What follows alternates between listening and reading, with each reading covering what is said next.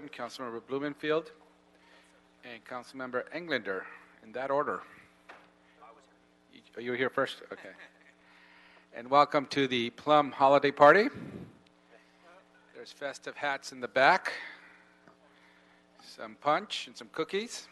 I hope you were able to have some. Yeah, I'm kidding.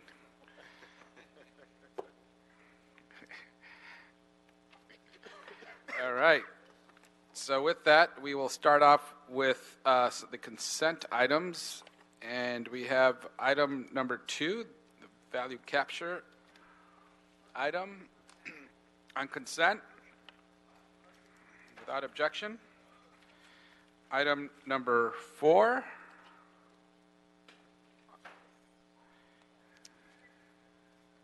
Historic monument designation for a residence at Briar Drive. On consent, item four, without objection. Item five.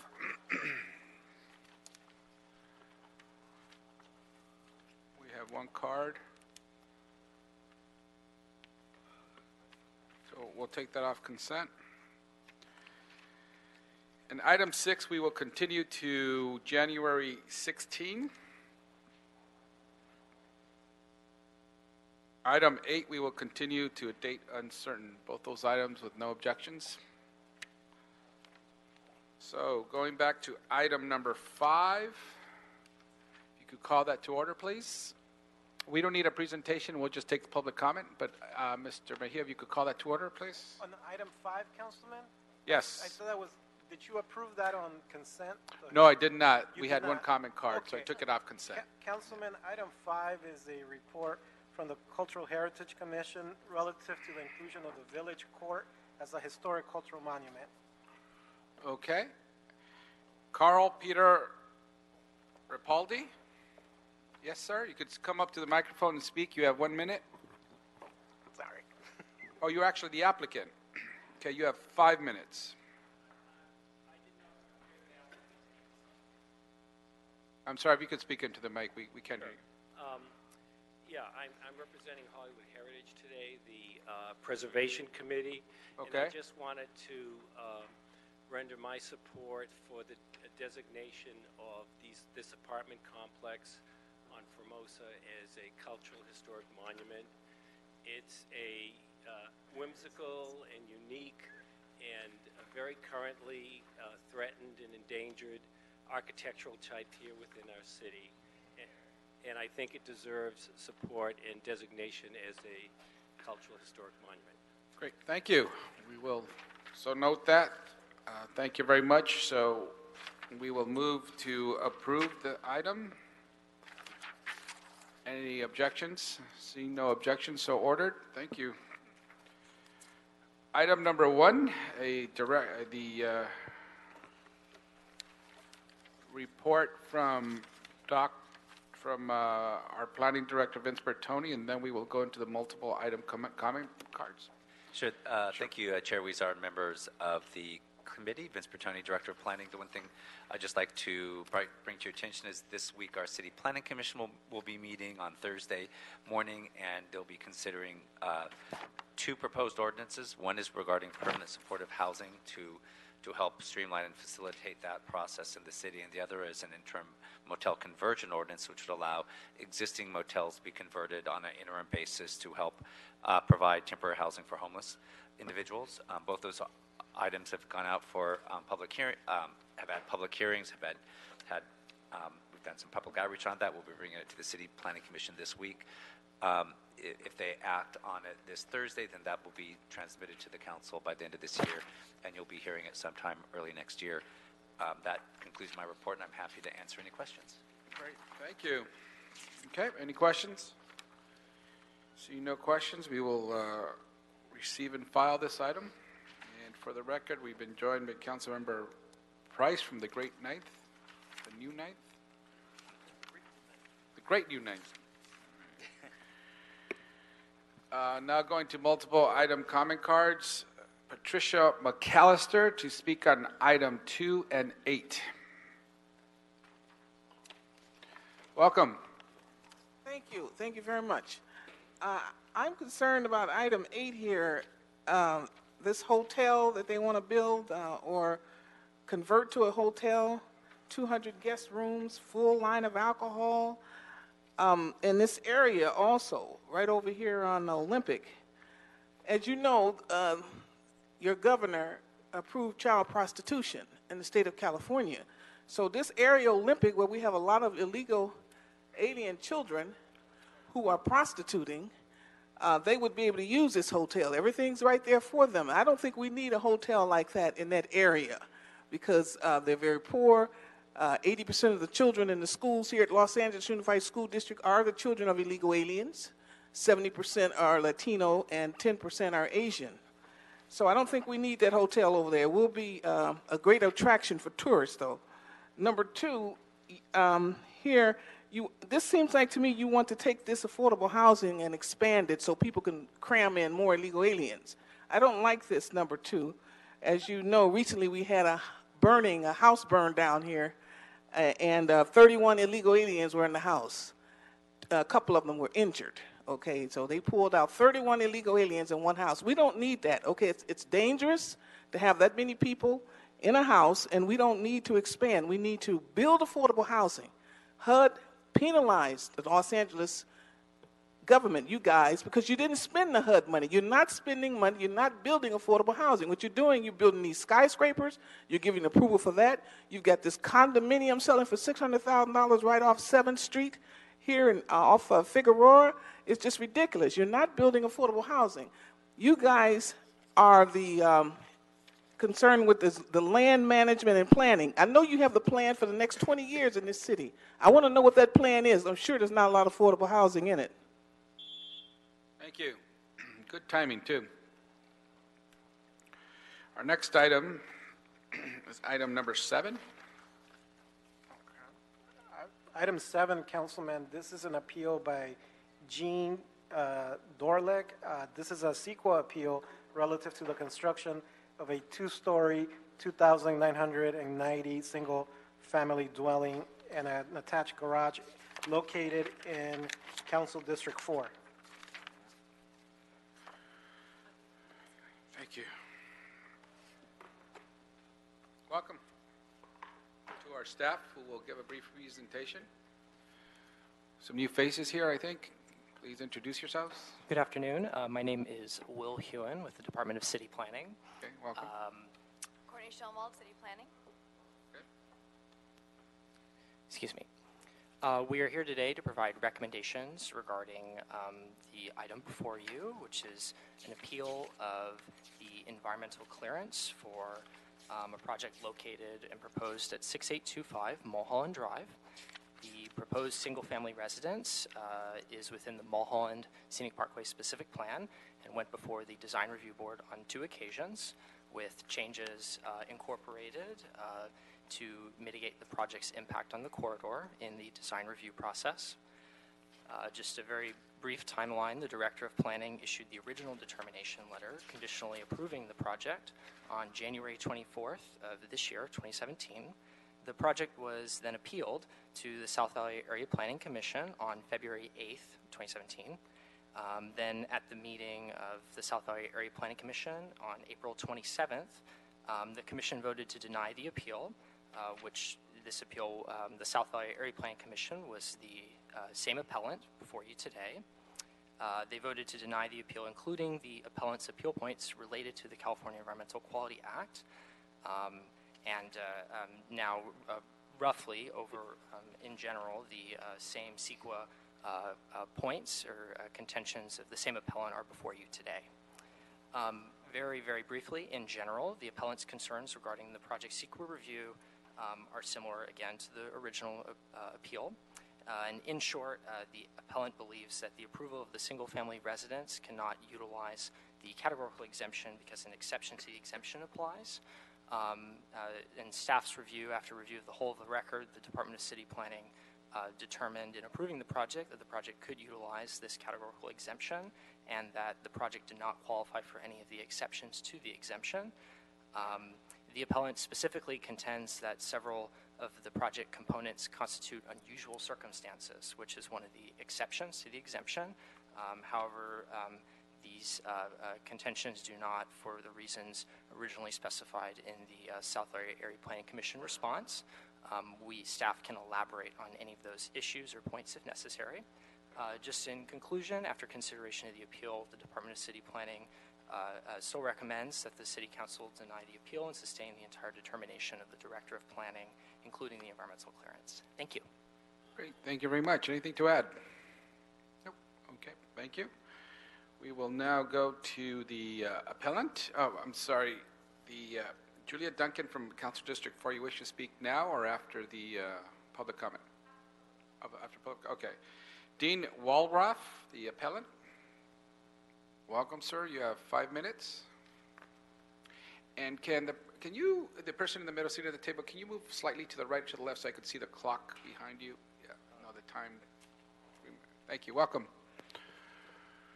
Good afternoon, honorable council members, and thank you for giving me the opportunity to make this um, presentation of our appeal.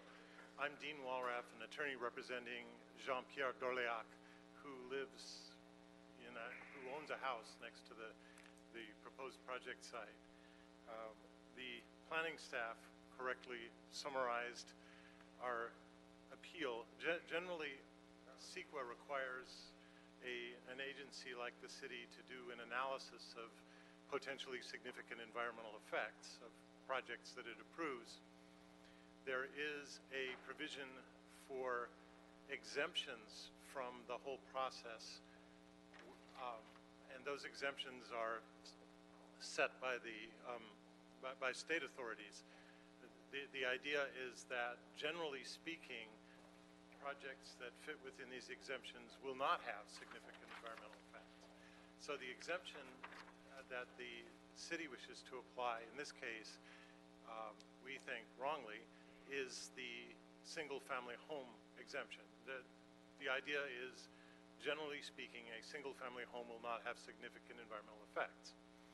But there are, in the law, a couple exceptions to the exemption, and, or actually these apply to all exemptions, and one of them is for quote-unquote unusual circumstances. That sounds typically lawyerly vague. But the idea is that when there's something unusual about this specific piece of, um, about this specific project, that takes it out of the reasons for which the exemption was originally approved. You know, something that's unusual in this case for a single-family house that indicates that it's more likely than the normal case to have significant environmental effects. That exception to the exemption means you can't use the exemption. So let me review briefly the geography of this particular site. Our, our contention is that because this house site is at the junction of really important and heavily used wildlife corridors, we're, we're not saying that nothing should be built there. We're saying that the, the CEQA process should be followed. There should be an MND or an EIR for this house because it, it's going to have a big impact on wildlife. So if you are sitting at this home site, about a mile to the northeast, you have to go through some undeveloped land past Hollywood Reservoir, you get to Griffith Park. To the northwest and southeast are big parcels of land, open space owned by MRCA. There is a corridor, this, this house is on Mulholland Drive, and there's a corridor following that that's, I don't know, 30, 40, 50 feet wide, that's kind of like open space. It's, it's city-owned and kept clear. And then there's also, going right immediately south of the parcel, a DWP easement for power lines that's also kind of kept clear. My client, Monsieur Dorléac, has um, a lot of experience with big cats, and he's, he's owned a bunch of them, and he's seen mountain lion prints on his property, on the house right next to this, this site. He's also seen um, deer, foxes, red squirrels, quail, pheasants, mallard ducks, ground squirrels. So there is, and then if you look at our exhibits, um, Exhibit 2 shows where those parcels are that I was talking about. Um, And Exhibit 3 is a map from MRCA, AKA the Santa Monica Mountains Conservancy, showing wildlife corridors that go right through the property. So all we're asking really is that the city uh, not use a categorical exemption from this thing. We, we think they're prohibited from doing that under the law. Um, We're requesting instead that the city require the developer to prepare an MND or an EIR because of the wildlife has, the, the project's effects on wildlife traveling through the site. Thank you very much. Thank you. Okay, we will now hear from the applicant. We have two cards submitted as the applicant. We have applicant rep and the applicant, Michael Gazaks and Tara Harrison. As you know, we have uh, five minutes for the applicant. Would would uh, Tara want to take the one minute after you? Is that the situation? We will keep it short. Okay, thank you. Thank you. Good afternoon, council Welcome. members. Michael Gonzalez, apologize for the writing. Um, We, we understand the, the appeal is based on a simple, narrow point that a, a mountain lion may have crossed the property at some point, may have. Uh, We have submitted a biological report that shows this property is not critical wildlife uh, habitat, and therefore it is not an unusual circumstance. It's a very typical property for the area. Uh, With that, the, the appellant has submitted no other evidence to support their claims, there is evidence in the record before this council uh, to support staff's conclusion that a categorical exemption was appropriately issued. Thank you. Thank you. Tara Harrison?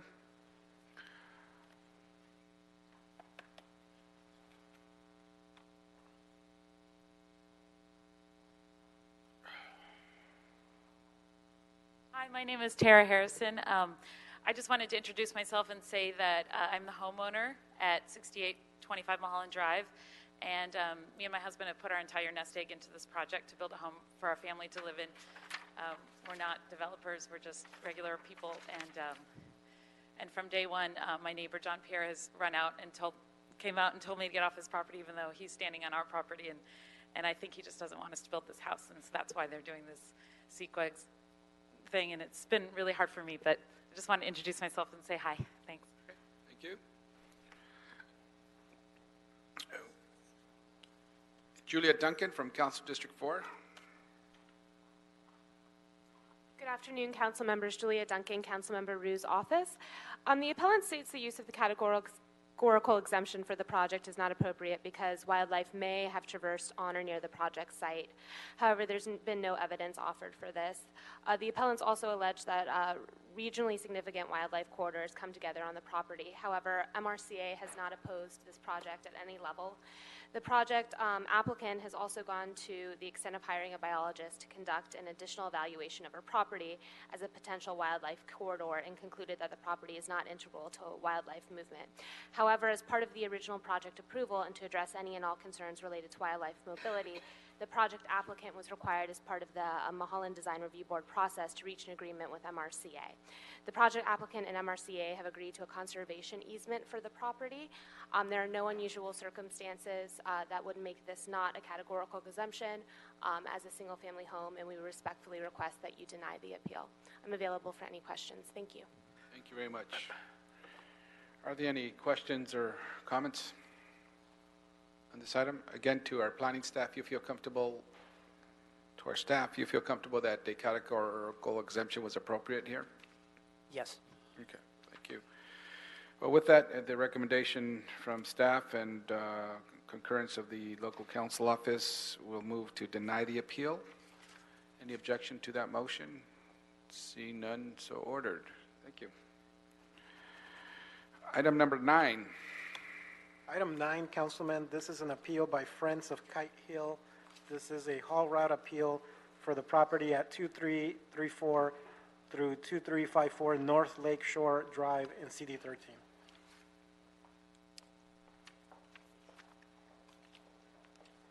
Welcome. Is staff here?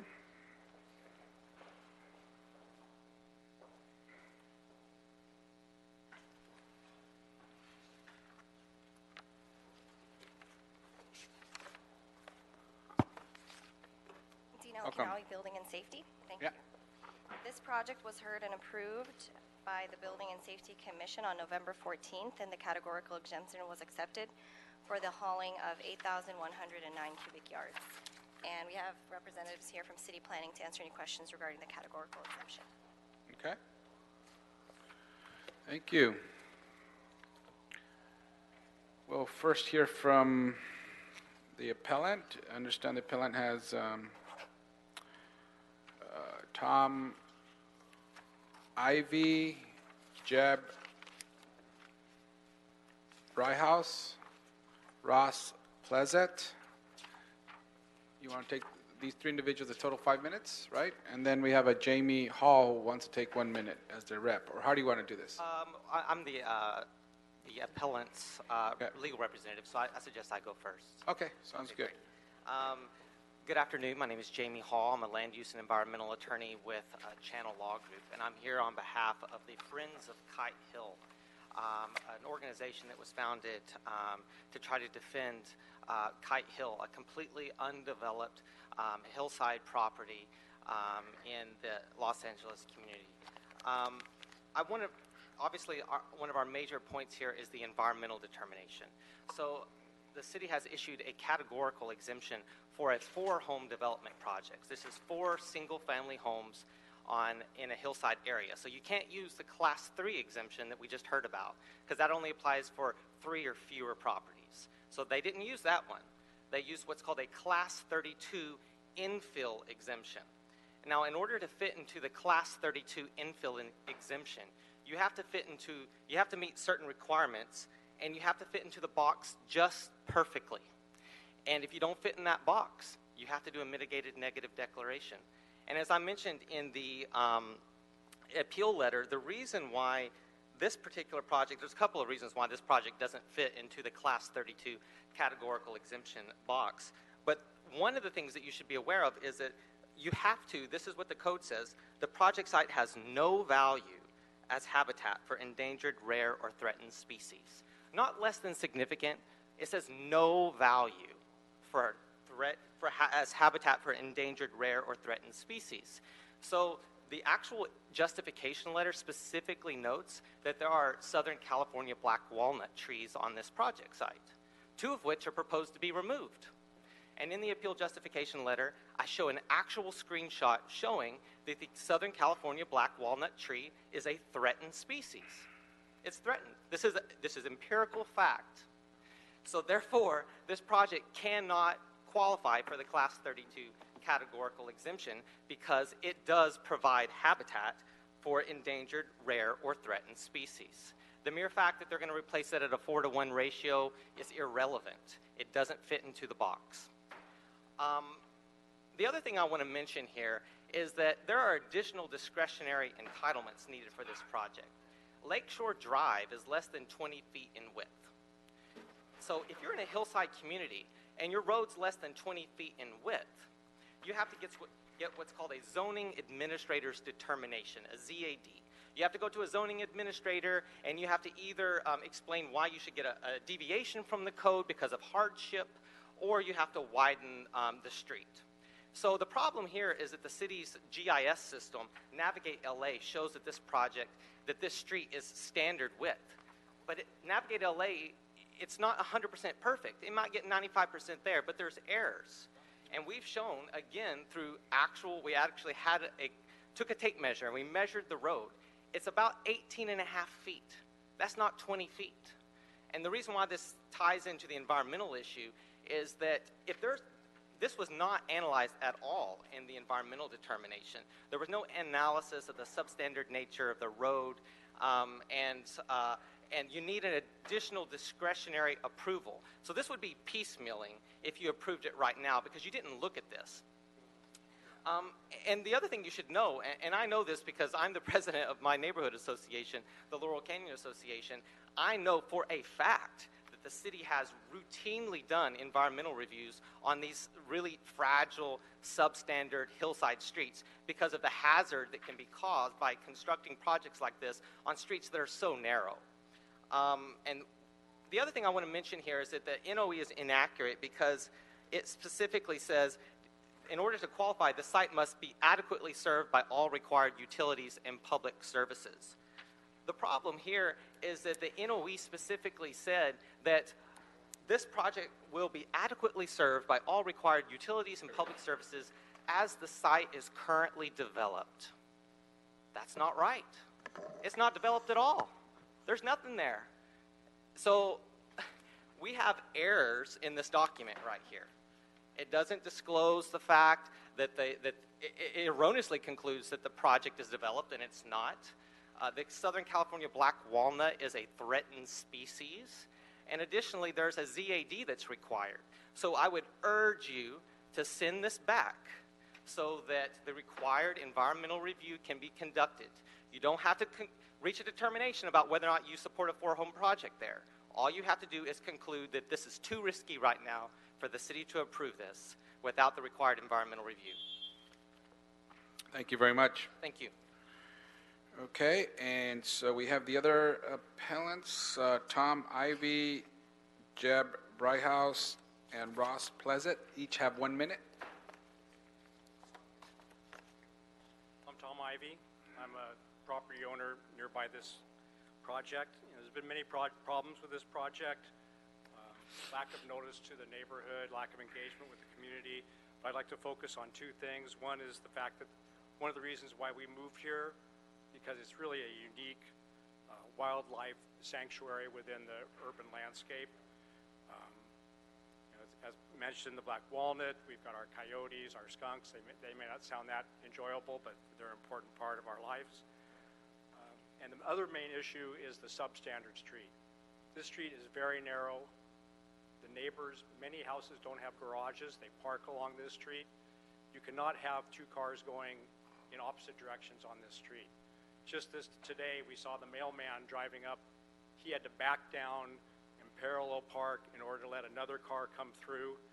And this is, and the, it's going to be a big impact on the neighborhood, especially with 800 trucks hauling 8,000 cubic yards of. Thank you, sir. What was your name again? Tom Ivey, I-V-E-Y. Okay, great, thank you. And uh, you, you were an appellant of record, correct? You submitted an appeal or no?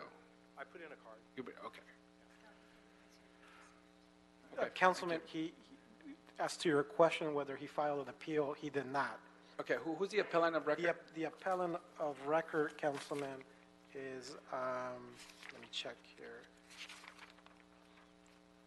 Uh, Fr- Friends of Kite Hill, Okay, and uh, the representative is Jamie Hall, got it, got it, which is the attorney who spoke initially. got it. Okay. Jeb and Ross, welcome.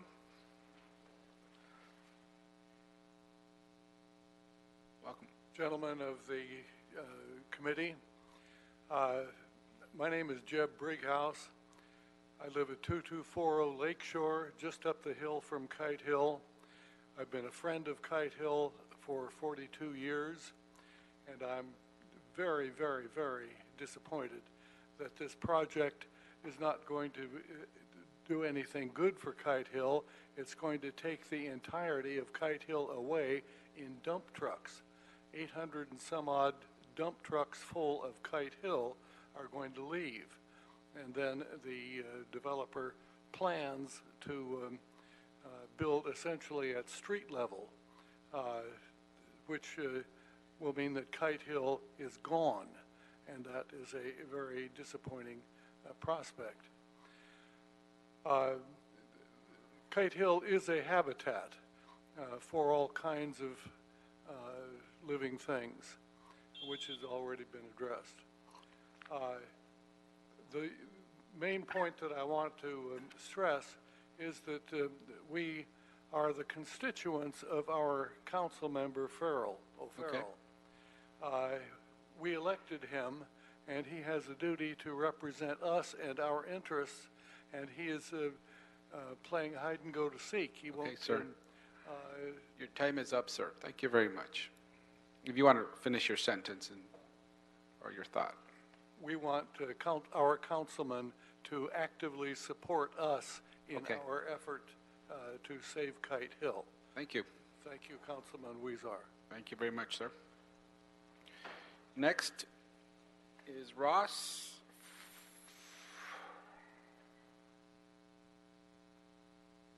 Okay. And we have Fred Gaines after this. Uh, One second. Fred Gaines, you also, al- also, the applicant, you're the applicant, I, I got you, the applicant rep, got you, okay. Ross? I've lived on this street since 1975. One of my concerns is the considerable noise from the breaking of rock, which I understand will be done extensively. The developer, Corey Wong, told me so. Back in 1990, this also happened at what's now 2240 Lake View Avenue, which is about a mile away. The noise could be heard from across the Glendale 2 freeway and was very disruptive. It went on for several months. Also of concern is the traffic disruption. Currently, the community is um, already enduring disruption from construction at Briar Avenue and Terriot Street. People are being delayed and diverted into small residential streets. This project will also diminish the unique character of the neighborhood, which has already been compromised quite a bit from other developments in recent years. Thank you. Thank you. Now, I see a number of people lined up there. We will call you if you filled out a comment card. Uh, And so we, we haven't called you yet, though. We will get to you. Yeah, when, when we call your name, you, we will, you'll come up and have an opportunity to speak. Right now, I, I want to turn to the um, uh, applicant, Fred Gaines, the, is the representative. Welcome.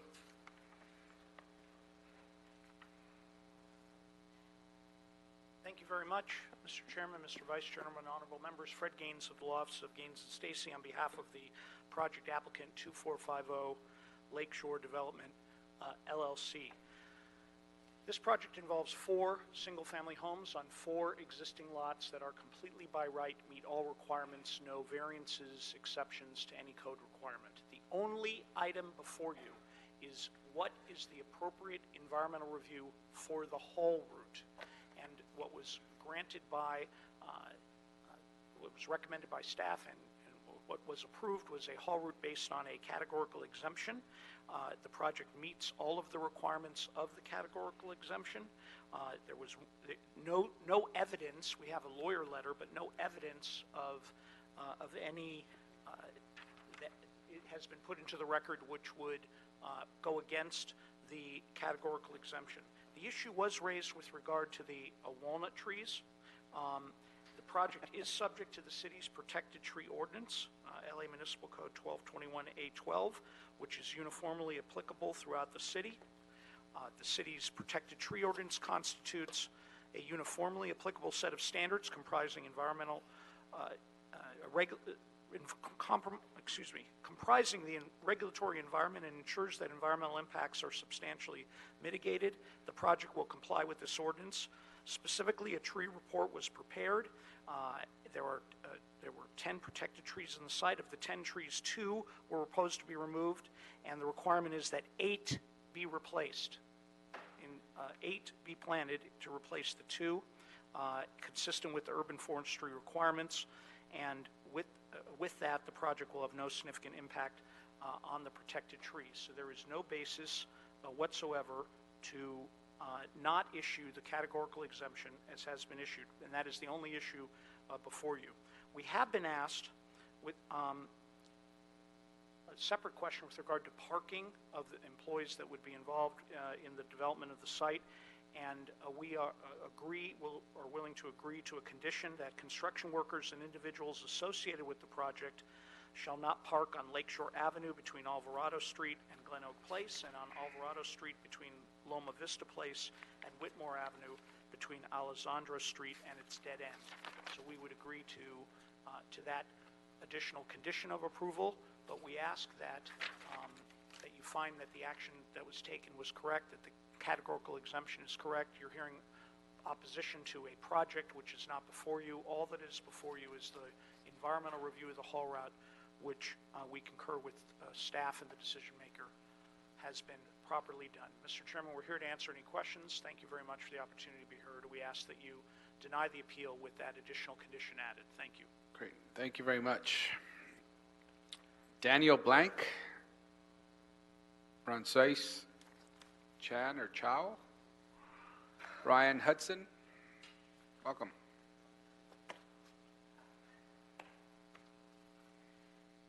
Good afternoon. Um, For anyone who's spent time in our neighborhood or on our street, they'll know that this project will choke a deeply congested neighborhood. I believe the developers have not spent enough time in our neighborhood or understand the challenges and flaws to their vision and can't think of any word to summarize their proposal other than reckless. In the six years that I've lived on this street, I've watched red-tailed hawks hunt the grounds. I've seen P-22, our famed mountain lion. I've witnessed the full spectrum of Southern California flora and fauna over the years. It is our small patch of wilderness in a densely packed neighborhood. As you know, there are plans to demolish everything you see and replace it with four multi-story units. You may be familiar with the narrow, packed streets in our neighborhood, probably not, but throughout the day, every day, traffic is a careful game of chicken between cars in each direction. This path for this construction project will disrupt, disrupt traffic throughout the neighborhood from every single artery leading out to the main two, two-lane road. In our meeting with developers, it's become clear that they haven't spent enough time in our neighborhood. They have no knowledge of the impact this project will have on all of us in our, our many homes. Thank you. Thank you. Next, Franz, yes. Either one, whoever. Good afternoon. My name is Francois Chow. Uh, I'm here uh, in support of my neighbors uh, in this appeal. Um, I've lived in the area for 25 years, and in that time, uh, there have been several attempts at developing this property, and uh, each time it has failed because of uh, environmental impact, of the soil makeup, and so forth. I'm not sure why this time this permit was granted when all the others failed to do so. Uh, Of course, I am concerned with the impact it has on the parking. As was said before, the street is very, very narrow, and uh, it is uh, surprisingly a major artery in that uh, area, so the traffic is heavy. Um, I think uh, the rest of my neighbors will will come and speak about uh, their concerns, but thank you for your time. Thank you.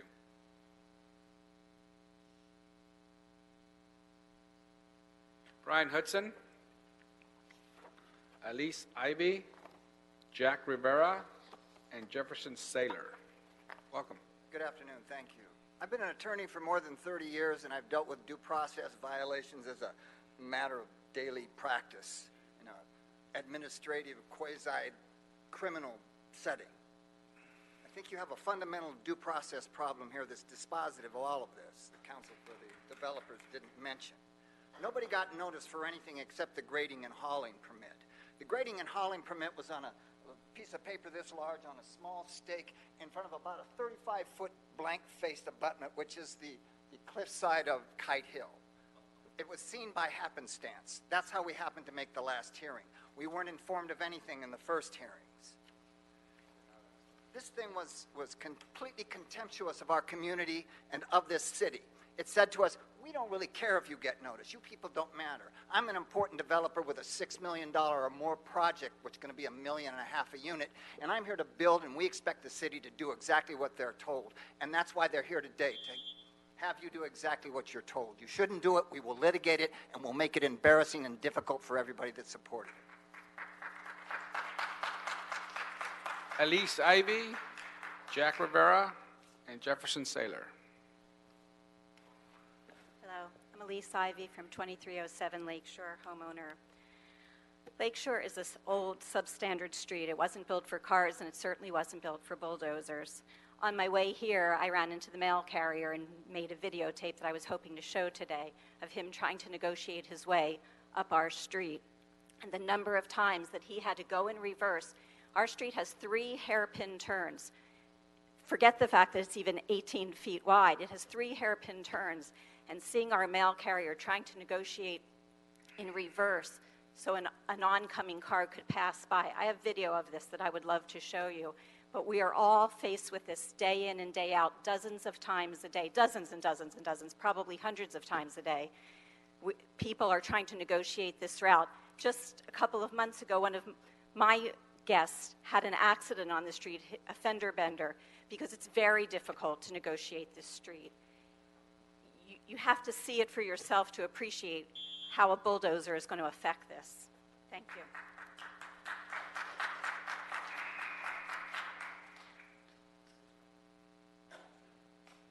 Hello, good afternoon.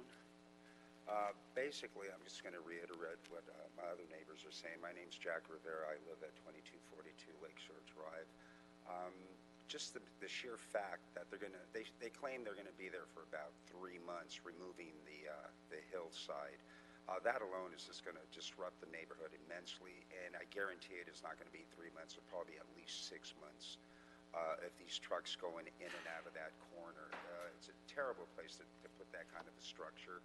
I could probably understand one large family dwelling, one large home, but uh, having four individual homes up there with four driveways shooting out to the street, I don't even know where these guys are going to turn around. And as you've heard my neighbors go on, the traffic is just horrible. It's a game of chicken. Every time you go down for a bottle of milk or a pack of cigarettes, chances are you're going to have some jerk Uber driver shooting up there who's never been in the neighborhood. It's going to be a complete disaster, and the people who wind up moving in there are probably not going to be very happy. Thank you. Thank you. Jefferson, Allison Plezet, John McDuffie, Richard De La, Ve, De La Viaga.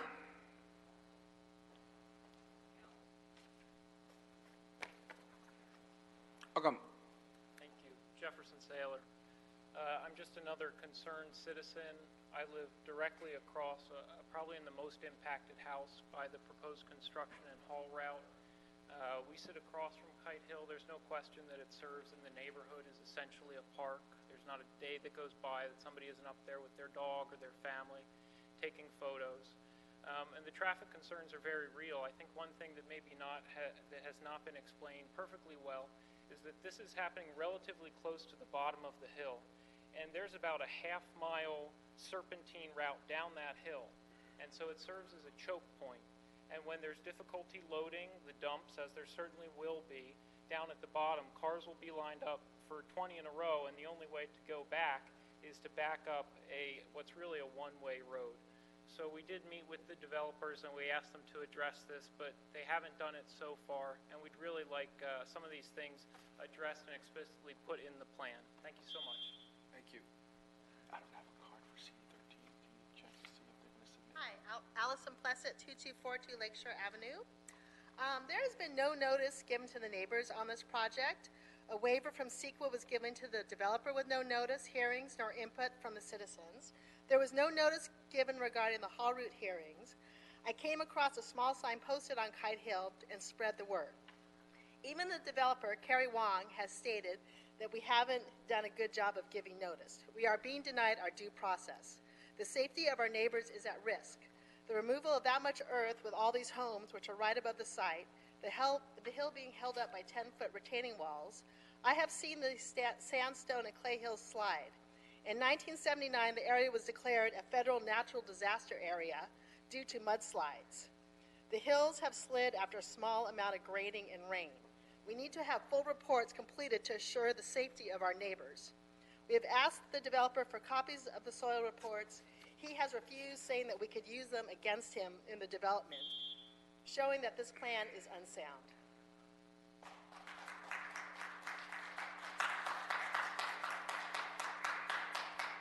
John McDuffie, Richard, and Shauna Bendinelli.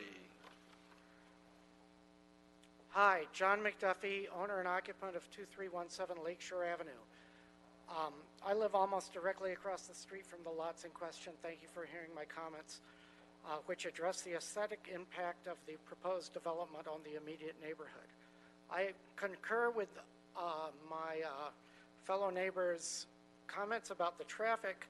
I also want to say the stretch of Lakeshore Avenue between Cerro Gordo and Whitmore has a very rustic and secluded character. It has much more resemblance to areas like Topanga Canyon than to the area of Echo Park south of Cerro Gordo.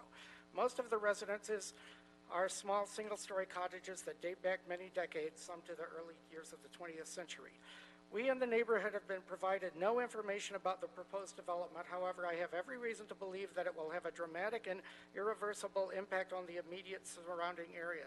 I expect due to economics of real estate and the amount of earth to be removed that the proposed residences will be very large.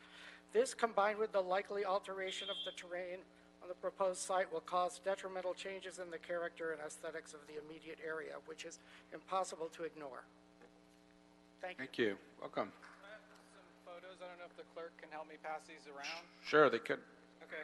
You're Richard? Yes, I'm Richard DeLaviaga. I'm owner. I live at uh, 2232 Lakeshore Avenue, and these are some photos of me measuring the street.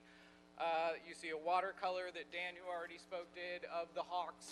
He's got video of that as well. Uh, there's some hawks on top of a light pole. Those are red-tailed hawks. Uh, my wife and I saw them yesterday. Uh, this is a drawing that I did for our little organization that we've started. Even though we got zero notice from anyone about this, we all told each other, and that's why we're all here in force because we're appalled. Here's my sign-up sheet that's covered with names and phone numbers. Here's the CEQA checklist that was supposed to be looked at. It violates all of these, every single one. You know, I think of uh, mountaintop removal, strip mining. This is hill removal development. They're going to take it all away 8,109 cubic yards and replace it with cement. It's going to fall down into the street. The street is substandard. It's 17, uh, 16 feet in some places, 17 in others, 18 directly across from the development. This uh, is just an abdication of duty, and you know I have comments to enter in the written record too. Uh, please do your job.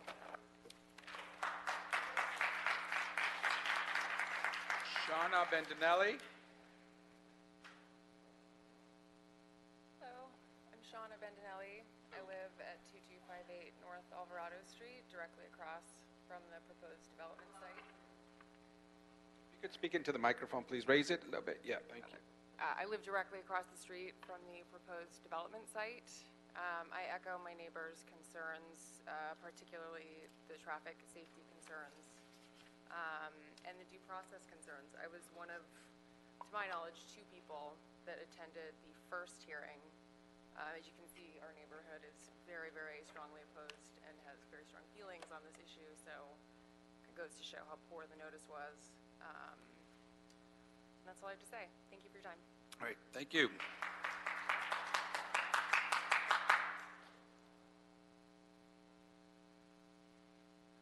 Thank you. That concludes public comment. Is there someone here from Council District 13?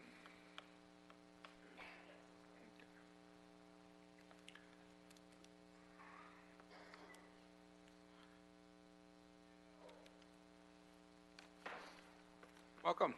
Thank you very much. Council District 13 um, is very concerned, obviously, about the um, inconvenience caused to the neighbors for the construction of this project, and would like to uh, re- request that additional condition be added to um, the list that was provided by the Bureau of Street Services, and that would be particularly that there be no workers, construction workers, or people associated with the project to be able to um, sorry, um, being able to park on um, Lake Shore, Whitmore, and um, Alvarado, and we can provide a list, a detailed list of those streets um, as far as um, to the office. But the idea was designed to minimize inconveniences. Thank you. Great, Thank you. So your recommendation is that we add additional conditions to this? Yes. That one condition? Okay. About the parking. Okay, thank you. Any questions? Okay, to the staff, um, on the categorical exemption, um, one of the, the uh, appellants stated that this would require further analysis. Wh- Why wouldn't this require a negative mitigated de- deck? Good afternoon. This is Blake Lamb with the Department of City Planning. Um, I do have a couple of comments. So the city has found that there are no exceptions to the use of the Class 32 categorical exemption, that the project meets all five criteria for the Class 32 um, categorical exemption. We've reviewed the appeal, and the purported substandard road does not preclude the city's use of Class 32. Um, additionally, the purported substandard road status and the potential need for a zoning administrator's determination, which is in the appeal and was also mentioned in the comments today, does not change the project as proposed, described, and analyzed in the categorical exemption. Uh, additionally, the project will comply with all state, regional, and local laws as regulatory compliance uh, measures. Okay, and uh, there was some mention about walnut trees, uh, and those are being replaced as required by city law? That, that's correct. There are current uh, regulatory compliance measures that would address the removal of any protracted, protracted trees. Okay, there was also a claim of piecemealing. Uh, it- it- Do you believe this is piecemealing? Uh, Blake Lamb with Planning. So there is no requirement that the applicant um, uh, file for any um, entitlements at this time. Um, If there is a future potential need for a zoning administrator's determination to address the purported substandard road, then that would be an application um, that would be required by the city. Okay. Any other questions? Okay.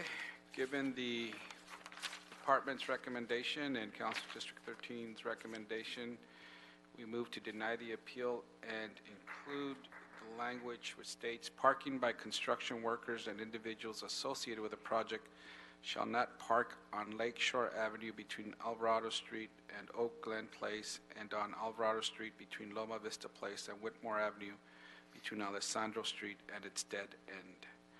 And what's before us is uh, the actual haul route, not the project itself. So we are just examining the haul route here, and the mitigations we are putting in are for the haul route, right? That's what's before us in our only purview, so. Okay, thank you.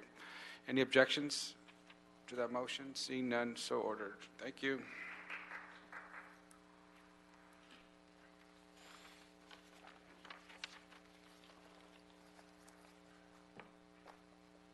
Okay, item number three. Item three, Councilman, uh, this uh, item contains various reports, contains a report from the City Planning Department uh, relative to the proposed sign ordinance, and also a Department of Building and Safety report uh, as to a request of additional staffing. In addition, there is a communication from the CLA.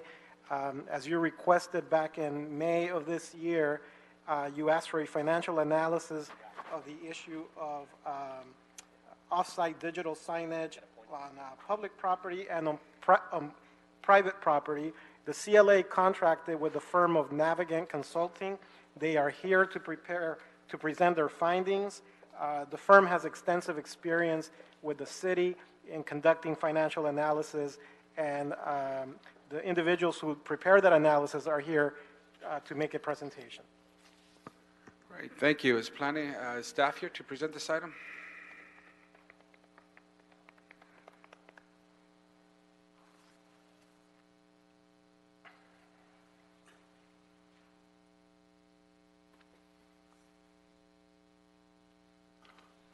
Good afternoon, Coun- Good afternoon, council members. Uh, Tom Rothman from the Department of City Planning. I'm joined by uh, Phyllis Nathanson, Senior Planner, and uh, we are here today to present an interim draft of the citywide sign ordinance. Uh, The updates in this version of the ordinance primarily relate to off-site signs and on-site digital signs. So as part of the background, we want to say that this has been a part of the Planning Department's work program for about a decade now, and it was originally approved by the City Planning Commission in 2009. We've been on the PLUM agenda for about 20-plus times. Most of those times have been report backs, though, so we are very happy to bring an ordinance to you. Um, And other departments brought, are bringing reports to you today. This ordinance, or, our version of this ordinance, did uh, return to the City Planning Commission in 2015, where they rejected digital signs and off-site signs outside of sign districts. And the city attorney had prepared that ordinance in a further ordinance in 2016, which we've revised for your presentation today.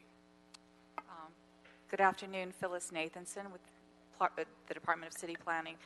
Uh, On May 31st, uh, your committee directed the Planning Department to revise the 2016 City Attorney's Ordinance with specific instructions for off-site signs, including the so-called berry blue mural signs and on-site digital signs.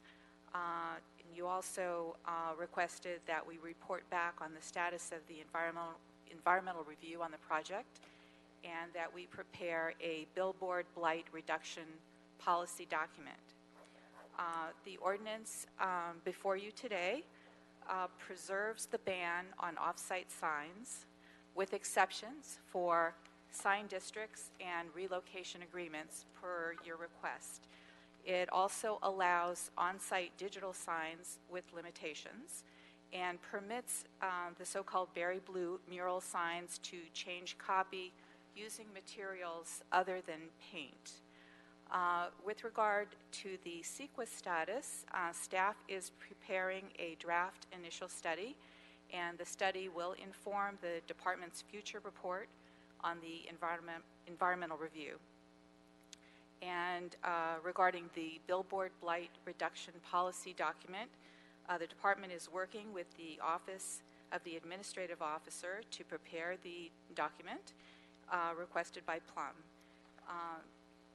This draft before you is an inter- interim release uh, for discussion. Staff uh, will continue to evaluate and refine the draft and work with the Department of Building and Safety and the city attorney. Thank you. Well, thank you for all your work, and indeed, we have been at this at some time. I, I, we thought we were in a path a few years ago, and that got kind of uh, thwarted, but now here we are again, and I think we've made lot of progress.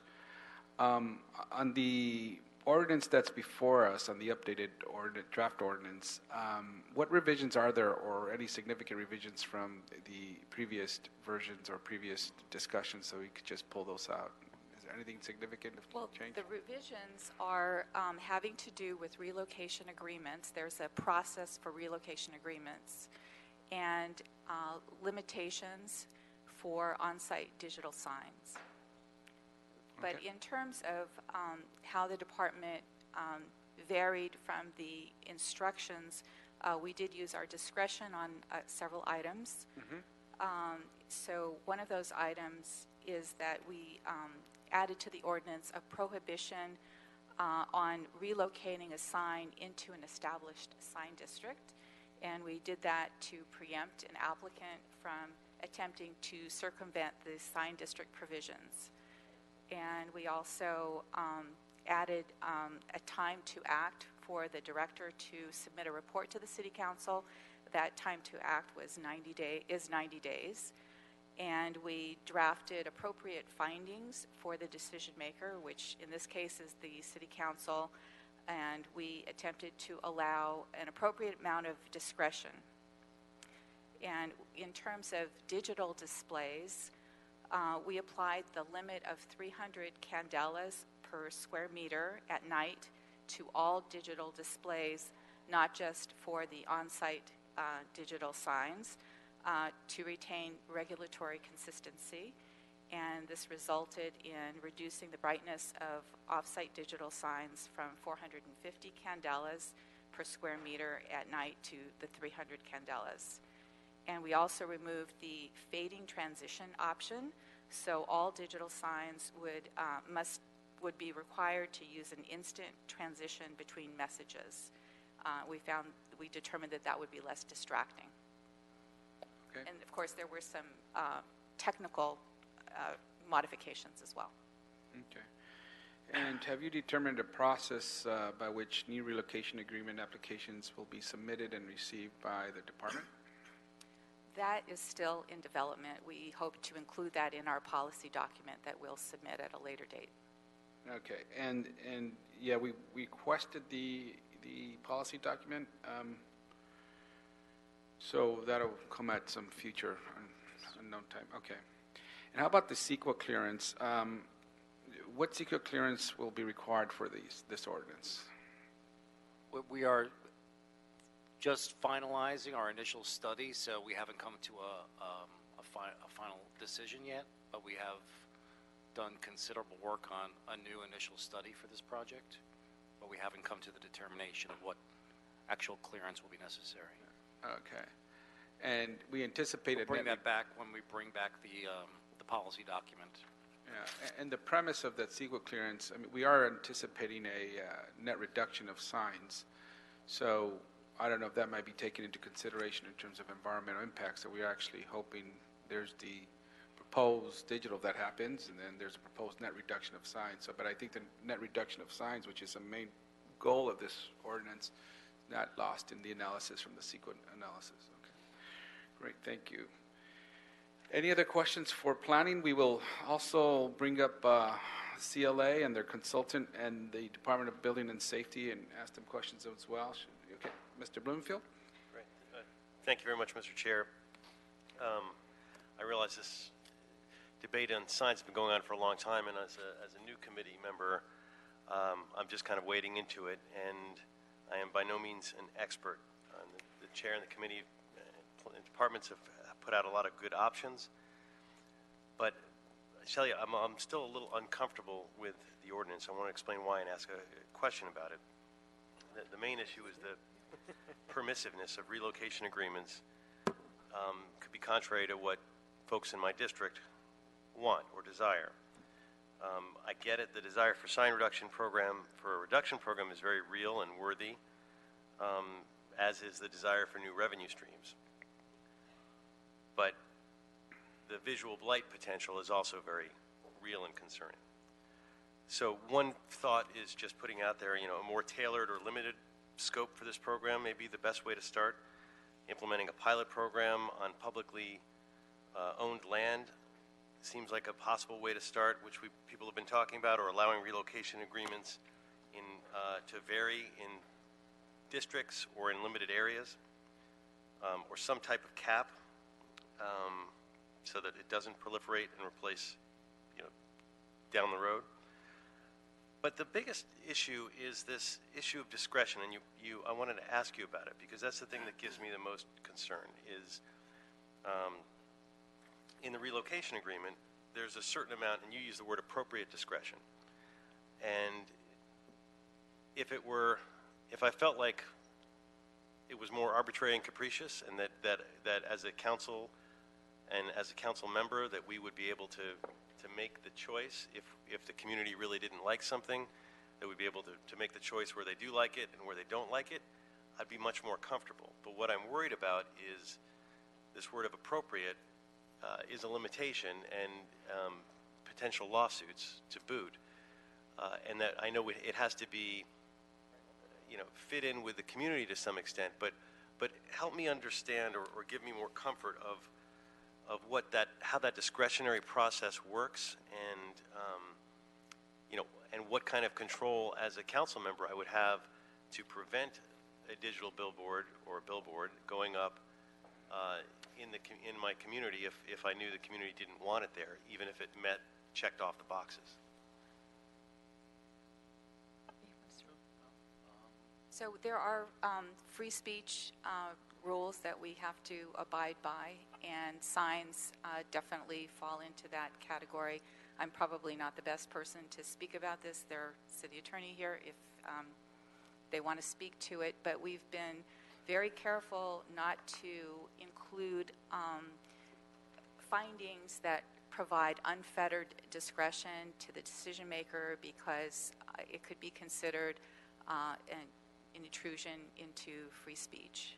So we've tried to balance um, allowing as much discretion as we thought we could without running into difficulties.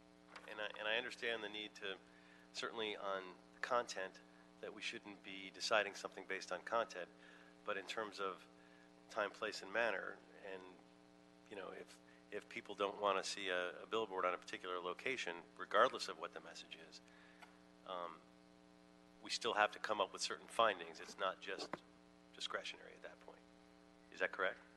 Yeah, let me, let me, ask, uh, Ken Fong from City Attorney's Office, let me elaborate a little bit on that. When, when you're talking about time, place, and, time, place, and manner, usually those are set criteria. So for example, uh, you can have a set of sign regulations that say that all signs have to be 10 feet tall, right. or they have to be spaced 100 feet from each other. So there's absolutely no discretion there because the uh, city officials, uh, they just follow those regulations in the time, place, and manner restrictions in the sign regulations. Now, what we're talking about here for relocation agreements and perhaps, uh, and for some other parts of the sign ordinance, are when you have applications for approvals of signs, um, sort of, uh, you can call it a permitting process for a sign or a sign uh, approval process. When, when you're going through a process like that, you have to make sure that your findings are even handed and they're not granting too much discretion to a city official so that the city official uh, basically has the power to deny or approve whichever signs he or she, uh, you know, wants to, and, and, and is not bound by discrete criteria that would prevent uh, him or her from denying free speech rights.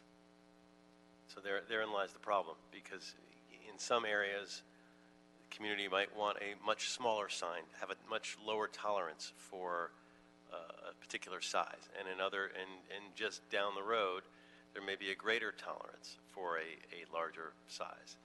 But to, to make that decision is fairly arbitrary, because you, there are not findings that can be found, and so under this, under the current scheme, there's no way for the decision maker or makers, because it's a full council choice, to, to differentiate that. Well, no, that, that, that's right, and, and you've put your finger on uh, a tension between two policy issues, which makes uh, uh, si- regulation of signs one of the more complex areas of land use. Because of course, when you are, when planners are looking at uh, zoning and land use and that sort of thing, they want the flexibility to be able to, uh, you know, mix and match and put whatever uh, structures are appropriate. But then on the other hand, when you have signage, uh, they're protected by the First Amendment, so we have to put in place uh, regulations that, that are consistent with the First Amendment. I, I, I understand that there is that tension, but, but first of all, we have to comply with the First Amendment and then do the best we can to allow city officials the ability to regulate signs in a way that makes sense. But that, therein lies my, sort of my biggest concern with the, the way it's written. It's, it's kind of, it opens up a pretty large door without having that discretion. Um, You know, so that's, for me, that's where, that's where the, the biggest problem lies. So, and that's where also, if we waded into this more of a pilot style and, and did, you know, the public lands or did something more discreet, then we might be able to gain a little bit more comfort with that process uh, before it's just opened up and, and I've got a community revolt on my hands. Um, C- Can I ask a question? on- And would relocation agreements uh, require council approval? Yes, yes. They, they would? Okay. So s- the relocation agreements would come to council, and there would be some say by the Yes. local council member? But we still wouldn't be able to, and and I don't mean to interrupt, but just to help tease this point out, because that, and that, that fact initially gave me a lot of comfort until I looked into a little bit more and realized that we couldn't just say no as a council. We would have to, we would have to be um, approving a series of, of findings. Yeah. Um, and those findings, you know, would have to match up with the, with the facts of the case. It wouldn't, we couldn't just, we couldn't just come out and say, we, as a council, we're, we're voting no on something. Right, so it's not It would really. we d- challenged, yeah. We don't really have the option to just get that resolution and vote no, Mm-hmm. or even to table it forever, right? Because there is a, there's a, there's, there's a time la- line on it that if we don't hear it, it automatically, you know, even if that was there, that would be a fail-safe if I felt I could you know, table it indefinitely, but there's not that. So it's, even though it's great to have that vote, it still doesn't give us that, that level of discretion, at least that I, that would make me comfortable. I- Additional question, or you want to No, come back? that, that was, I just wanted to, I, I caught in in the tail end of that discussion, so I just wanted to make that clear. Okay, good. I'm fine. Go ahead. A few more questions, but I don't want to hog Yeah, your time. and, You wanna and, back? uh, so this is the planning department, we're still gonna bring up the CLA and also building and safety, so any questions for them, we could, uh, yeah. Well, I guess then one more for the planning, I guess, specifically. The current proposal, um, does it allow for at least one sign district in each, in uh, we- each, at least one sign district in each council district? Or, you know, It what- wasn't drawn up that way. It was just drawn up that if the properties in question uh, matched the regulations, then a sign district could be established. And, and how does that get expanded? Is there, what's the, the process? Can, can the um, council initiate a new sign district?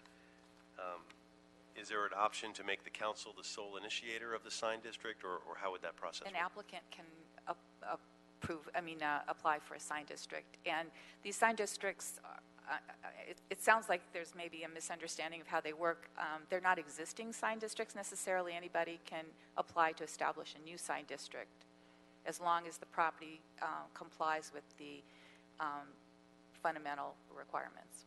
And if you, uh, the current version has two versions of a sign district. We call it Tier 1 and Tier 2. Tier 1 is the more traditional Hollywood, um, the uh, sports and entertainment district. Those are the larger sign districts with billboards that can face the public right of way. Those are intended and zoned currently to be allowed only in our more intensive commercial zones. So they're not, we don't have, every, every one of our council districts and community plans don't have that type of zoning. So in Chatsworth, there would not be a, an option of applying for a Tier 1. Possibly a Tier 2, which is more of that internal campus setting where you could have billboards that face inward, but as far as the larger ones go, it wouldn't, they, it, it, it's just a matter of our land use designations. Like, there's a tier two in my district, in the Warner Center area, uh, with the inward facing, and, and, but it also has a number of other protections for the community, and that, that works out well. Um, But the process of expanding the ability to, to do sign districts may be another option to some extent. But, but how does that, you're saying the applicant can apply for that, but it's still the discretion of the council? Correct. It's, a- it's, it's, it's, it's an overlay district, and if, as long as the uh, applicant um, meets the requirements, they can apply to the city to create um, a Tier 1 sign district, as long as they're in the right type of zoning or land use designation, it's the right size, and there are findings that are met and found by the city planning commission and the city council, they can set up a sign district. That also works in contradiction to our ban, right? I mean, the more sign districts that That's an we have- exception to the ban. Sign districts are the first exception, and then these relocation agreements would be the And- second And at some point, there's a tipping point where we have too many sign districts, our ban is in not much of jeopardy, or legally in jeopardy. And I, am- I wouldn't ask you to opine on what that number is, because I don't want to get into that, but just that there is that tension, um, which makes it a little difficult to use that tool to expand the sign districts. And that's why we've been fairly conservative with where sign districts are allowed to go. There's not that many regional centers in our 470 square miles. One, one other thing, and then I'll, I'll, I'll stop on you, and you guys, but relocation agreements, is there a way to create an opt-in system for community plan areas or council districts? um, So that it's not everywhere, but an an opt-in?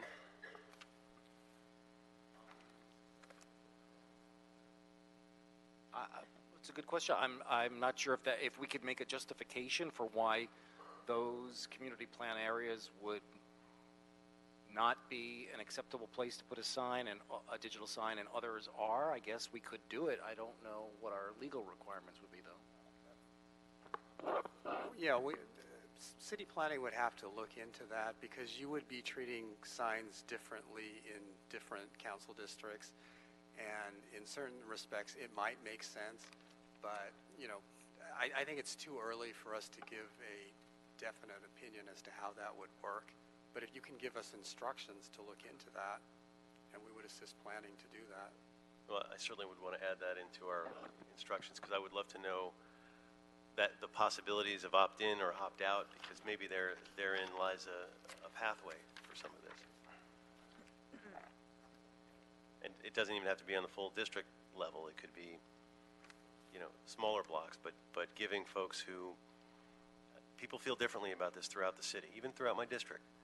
Um, And that would, that would give me a little bit more comfort as well. Anyway, I have a lot of questions, but I don't want to hog it, I'll come back around. Okay. Um, Any other questions for planning? We could also ask them after we hear from the other uh, staff, but Mr. Price? Thank you, Mr. Chairman. Appreciate uh, your leadership on this issue. I know it's been a long, hard battle.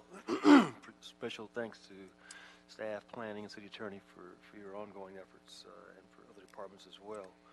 Uh, This is really interesting, um, interesting presentation, and the, the breakdown of possible annual revenue uh, is interesting and exciting, I think, from uh, all, all angles. Um, And being able to use GPS in ways, GIS in ways that we haven't before. But I, you know, the, you- the analysis shows that uh, District 9 has the second highest uh, number of static off-site signs at 713, but the lowest number of off-site digital signs at 2 uh, in the city. And uh, I, I got a question.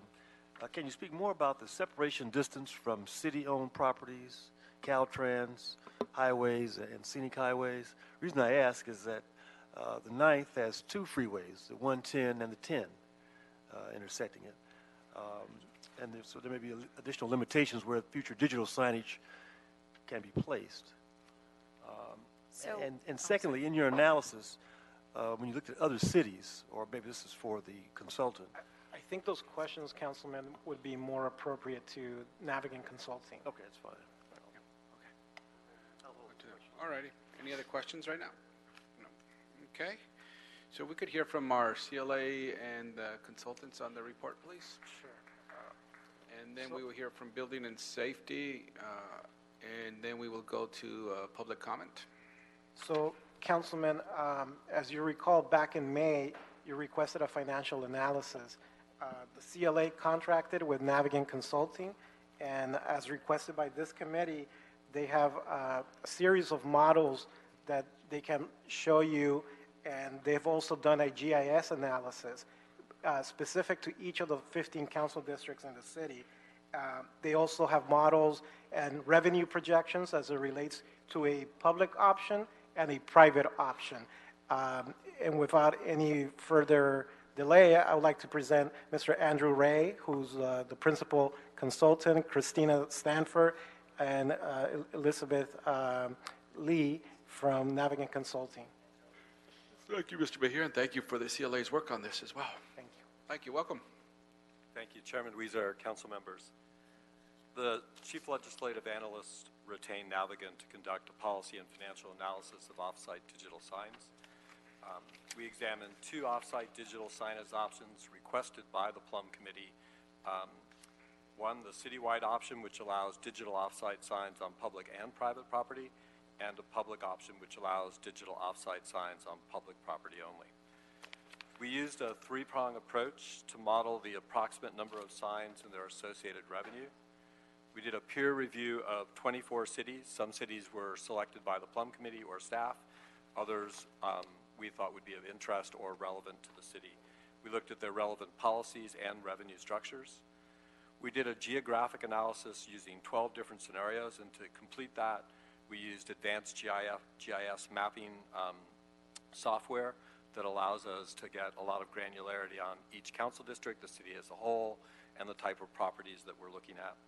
And then we did financial analysis with six different financial scenarios. The purpose of the study is to really illustrate the potential outcomes from a range of policy and deployment decisions the city might make. We, we don't make a recommendation on one over another. We're really trying to bookend all the potential options under the proposed ordinance and under other uh, ordinance structures adopted by other cities. Regardless of which option the city chooses, obviously, there are legal issues involved with all of this, so the city attorney's help is, um, as always, essential. For today, I'm going to talk about two approaches to represent the universe of available properties for off-site digital signs. In Approach A, it, um, it's based on the language from the PLUM Directive and aims to show the universe of digital sign placements using the best available data directly from the city and/or reputable publicly available data sets um, such as the County of Los Angeles, Caltrans, Metro, etc. While the team consulted city staff to confirm the veracity of the data, the property data provided to Navigant does not have the granularity necessary to accurately reflect um, all the nuances of the city properties and the properties, uh, particularly the city properties. So those that are unlikely to be appropriate for digital signs are in the city data, and we'll talk about how we dealt with that in a, in a second. Those include proprietary departments such as LA um, DWP, police, fire, things like that, um, the harbor, public works. Um, the restrictions in Approach A, though, result in approximately 3.5% of the total eligible land in the entire city would be available for off-site digital signage. So gives you a perspective as to, under the proposed ordinances, about 3.5% would be available. In Approach B, we applied additional filters to remove from consideration properties that Navigant and city personnel feel are unlikely to be appropriate for off-site digital signs.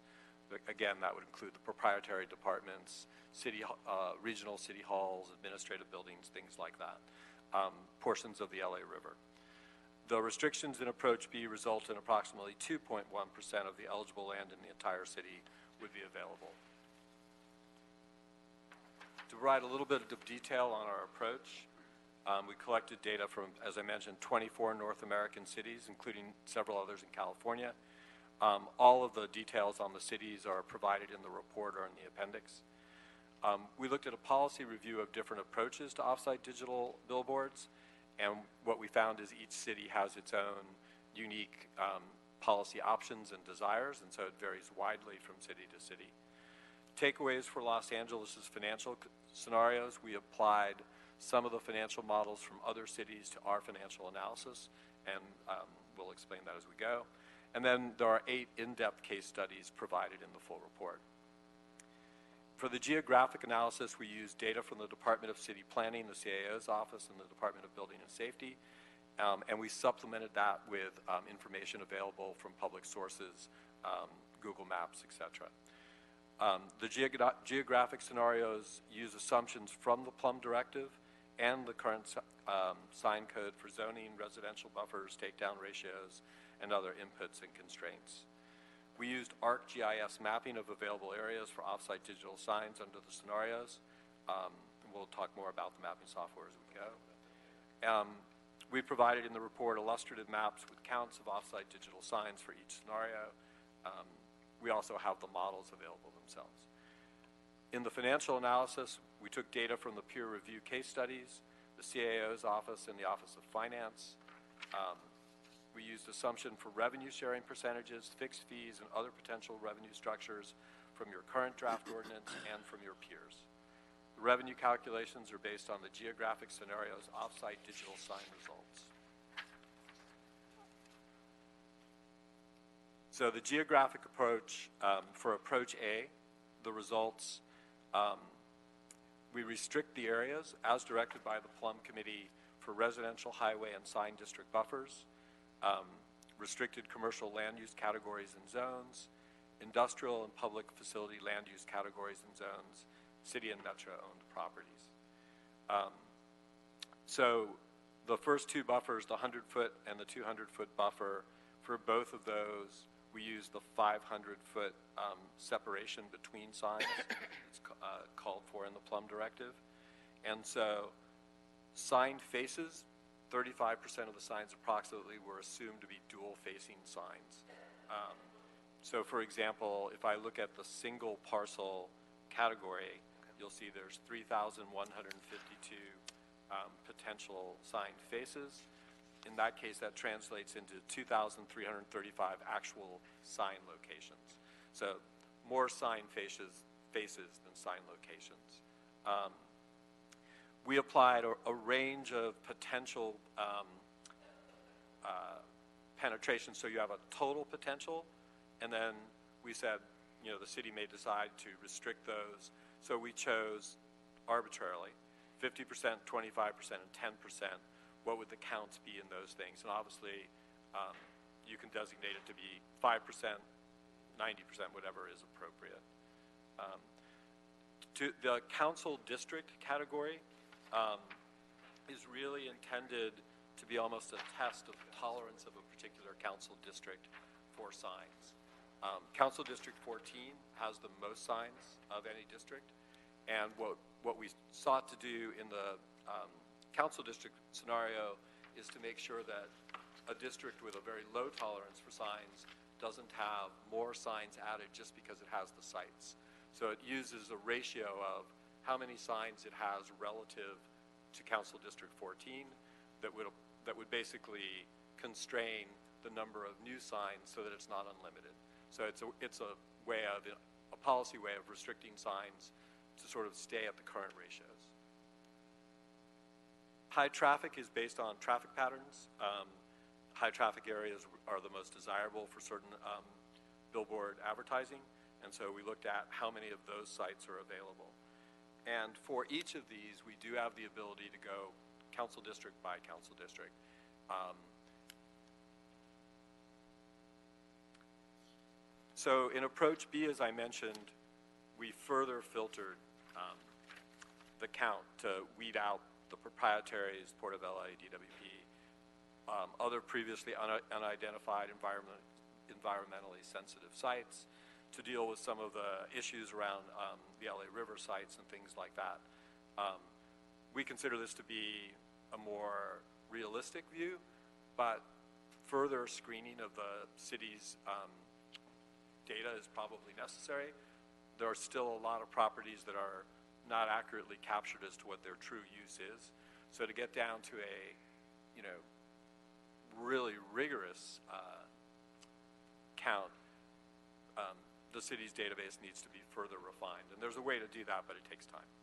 Um, so in, in this case, for example, the single parcel um, to- total potential sign faces is reduced to 2,307 and the total number of sites would be 1,704. Um, If any of the categories need further explanation, I'm, we're happy to answer questions as we go. So moving from the citywide option to the public option, in the uh, geographic scenarios, we restricted eligible areas using residential and sign district buffers, city and metro-owned property, and then all of the um, scenarios that are listed below. In this particular case, single parcel um, moves down to 1828, which is 1,354 sites. Um, The council district scenario, 760 total potential sign faces, um, moving on from there.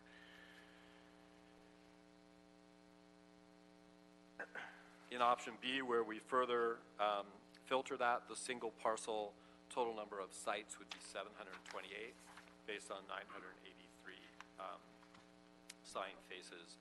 Council district would be 242.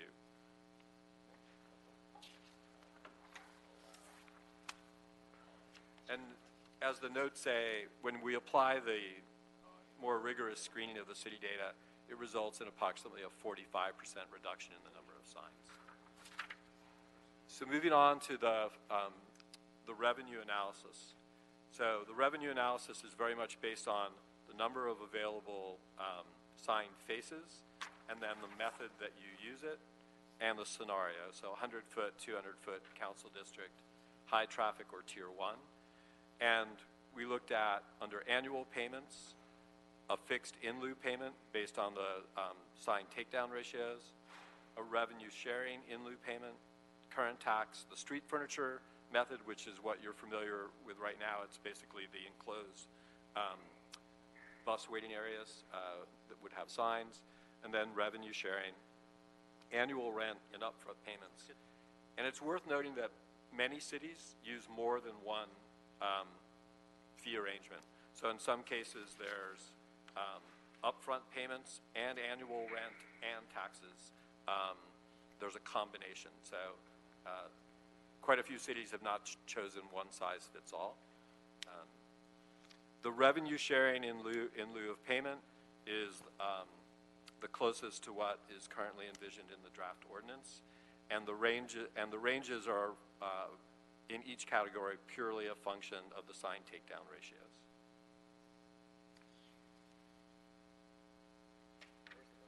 In approach B, the numbers come down because the sign faces have been reduced by 45%. Um, and in each of these financial scenarios, we assume that you're doing 25% of the total that's available to you. Um, in the report, the 100 and the 50% scenarios are also shown. Um, so in this case, for example, um, for the uh,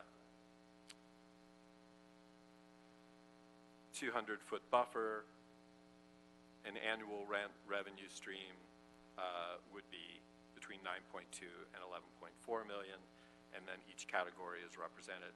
So what we tried to do was to portray under a large variety of payment types and under a large variety of scenarios what would be the potential revenues. And these are not difficult for the city or for us to assist you in changing. As you change the filtering criteria, the mapping software is very robust, and it really lets you model in a very granular way how you can deal with different council districts scenarios and how you can really identify the actual number of sign faces in various locations that you could get. So there's a lot of flexibility going forward for the city.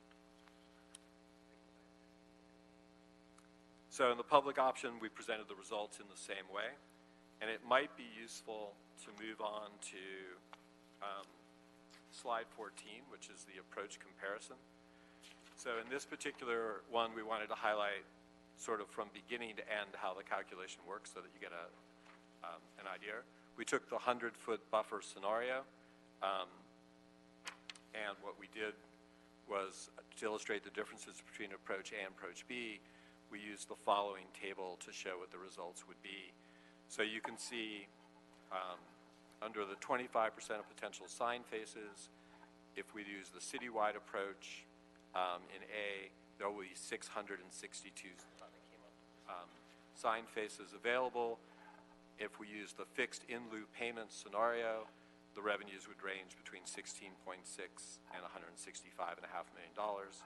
If we use the revenue share in lieu payment, um, 11.3 to 180.7, and then the results move on um, across the board from there.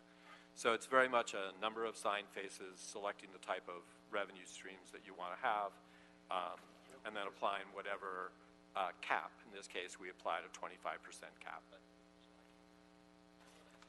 Future considerations for the, the, the committee to um, review.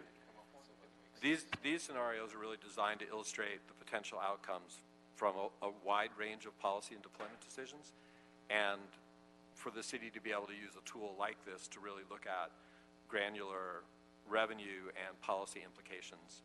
Um, and this mapping technology and the financial models we developed are very robust, and you can use them in a variety of ways. Um, a, real, a critical element in doing this analysis is to get more and more confident with the data, and the current data sets have a lot of errors. Um, and the city is working to upgrade that data and better maintain it, but that's one of the big critical issues in really um, developing a high degree of confidence with the analysis. And happy to answer any questions that you may have. So now this- Well, thank you very much for that uh, report. We certainly appreciate uh, the data um, that's forthcoming that will allow us to make the decisions uh, to move forward with a policy. And one thing is that I think we, we need a more realistic idea of the number of city properties so we can more accurately estimate uh, future revenues. And I understand there's been some issue um, getting that a good database for, for to do that. Can you explain a little bit more about that? Yeah. So in the way that the, the data is captured, in and it's not consistent. So in, in some cases, a DWP um, site will say DWP transformer station. In many cases, it's not identified as LADWP's property at all. And so, because when the data was entered, it wasn't entered with specific uses. You know, more recent data is better than some of the older data. But so, to really know, yes, I can absolutely put a sign on this particular parcel because it truly is a public site. It's not restricted. It's not owned by a proprietary or used by a proprietary. The database doesn't accurately reflect that currently. Um, using Google Maps, using other available GIS software, that can be updated. Um, but until that's done, you know, and, and we did one filter that removed approximately 45% of the properties by digging in deeper using um, other mapping software, uh, peeling back several more layers. When you can do that to 100% of the data, then I think you'll really know our universe of sites is truly this. Um, so it's, it's doable. You know, when we first looked into it, we thought it might have to be manually done. And then we, um, digging in deeper, we found you could use other mapping technology and other um, computer programs to further screen it, update it, and then turn it back over. Any other issues with uh, data or difficulty with the data? No, that was the main issue. That was the main um, I think in general, if you provide more refinements, whether it's buffers or um, things like better city property data, we're able to model that. And, and so it did impact your analysis because given your uncertainty of what actual data you were using here, it impacted your analysis, and, and how so? So I think in the in the sort of the full universe, the full universe is is, probably too inclusive. In other Too, words, too inclusive. too inclusive because it doesn't because it didn't know that a DWP yard was a DWP yard. It looked like an available piece of public property. Mm. Um, it it was counted, and perhaps if you'd had that data, you wouldn't have counted it. In option B, we partially resolved that issue by applying as much technology we could in a short period of time, um, and that's why 45% of the public properties moved out. With a bit more time and a bit more effort, we could probably get that number to an even higher confidence level. So I, I think where the, the limitations of the data are now is it lets you count too much. Um, and that the more that you refine that, the number will come down. You, you narrow that, okay, okay. And, um, and I see that your report includes single parcel and council district among other scenarios for counting the number of possible locations. Uh, Can you clarify the difference between the two scenarios again? Sure. So council district is, is really trying to do, um, we, we tried to say, is there, is there a built-in tolerance in a particular council district for digital signs? And as you go through district by district, there is a large variance. Some districts have more, council district 14 has more, other districts have less. So we said, what if that is a, what if that is a built-in tolerance, right? Established over time. How could how could we model that going forward? So the council district scenario really applies basically the current ratio between a district with less than council 14. Council 14 is the the sort of uh, the base. um, bellwether. And so we apply what, that ratio to the total number of available signs so that the signs can't grow past that ratio. So it's not perfect, but it, it's a, a sort of a tolerance band. And what it is designed to do is to make sure a district, let's say, that had no signs, so there's nothing to take down for the toke down ratios, wouldn't um, have signs imposed on it because it has eligible sites. So if you have nothing to take down, then you're not going to, a site won't become eligible. It, it keeps that restriction. And the single parcel basically relaxes um, the 500-foot separator that's in the 102-foot um, scenarios and says, if I had no 500-foot scenario and I could put properties more closely together, how many of those type of properties would I have? And why was there not a single parcel scenario included in the citywide summary? Um, we provided it for this presentation and um, Okay, but not in the, in the report itself, but um, it's, it's in this and this will be uploaded into the council file. okay. And um, so what do you recommend are some of the ways we could further refine the analysis or data um, to be more consistent with what we're attempting to do here? Um, You, you started talking about that, but what do you recommend? Because we certainly, I, got- I got the sense that in some categories, we're too expansive of what actually exists. In some other categories, it's too narrow. And so, um, how do we then, what would you recommend for you to do or for us to do to, to further refine that data? What's the next steps on that? So I, I think, I think we have the technology available to us and now the experience after having played with the, the data for a while. Um, I believe we could significantly cull the total number of properties to one that would very much sort of fit the policy direction that the PLUM Committee is going into. And it would probably take, it goes faster um, as you dig into it, it would take between one and two months to do. I think the other thing is to, um, and we've, we've worked with CLA, CAO, planning, and your office's staff to say what are the scenarios that are the most realistic that we've included. I think if we focus on one or two of those scenarios that you think actually make the most sense, then we'll get even more granular. The other thing is if there is a council by council interest, we can show more granularity for each council district so that there's more, you can illuminate more what you could actually do or not do in a particular district. So I think those three things would make the most sense.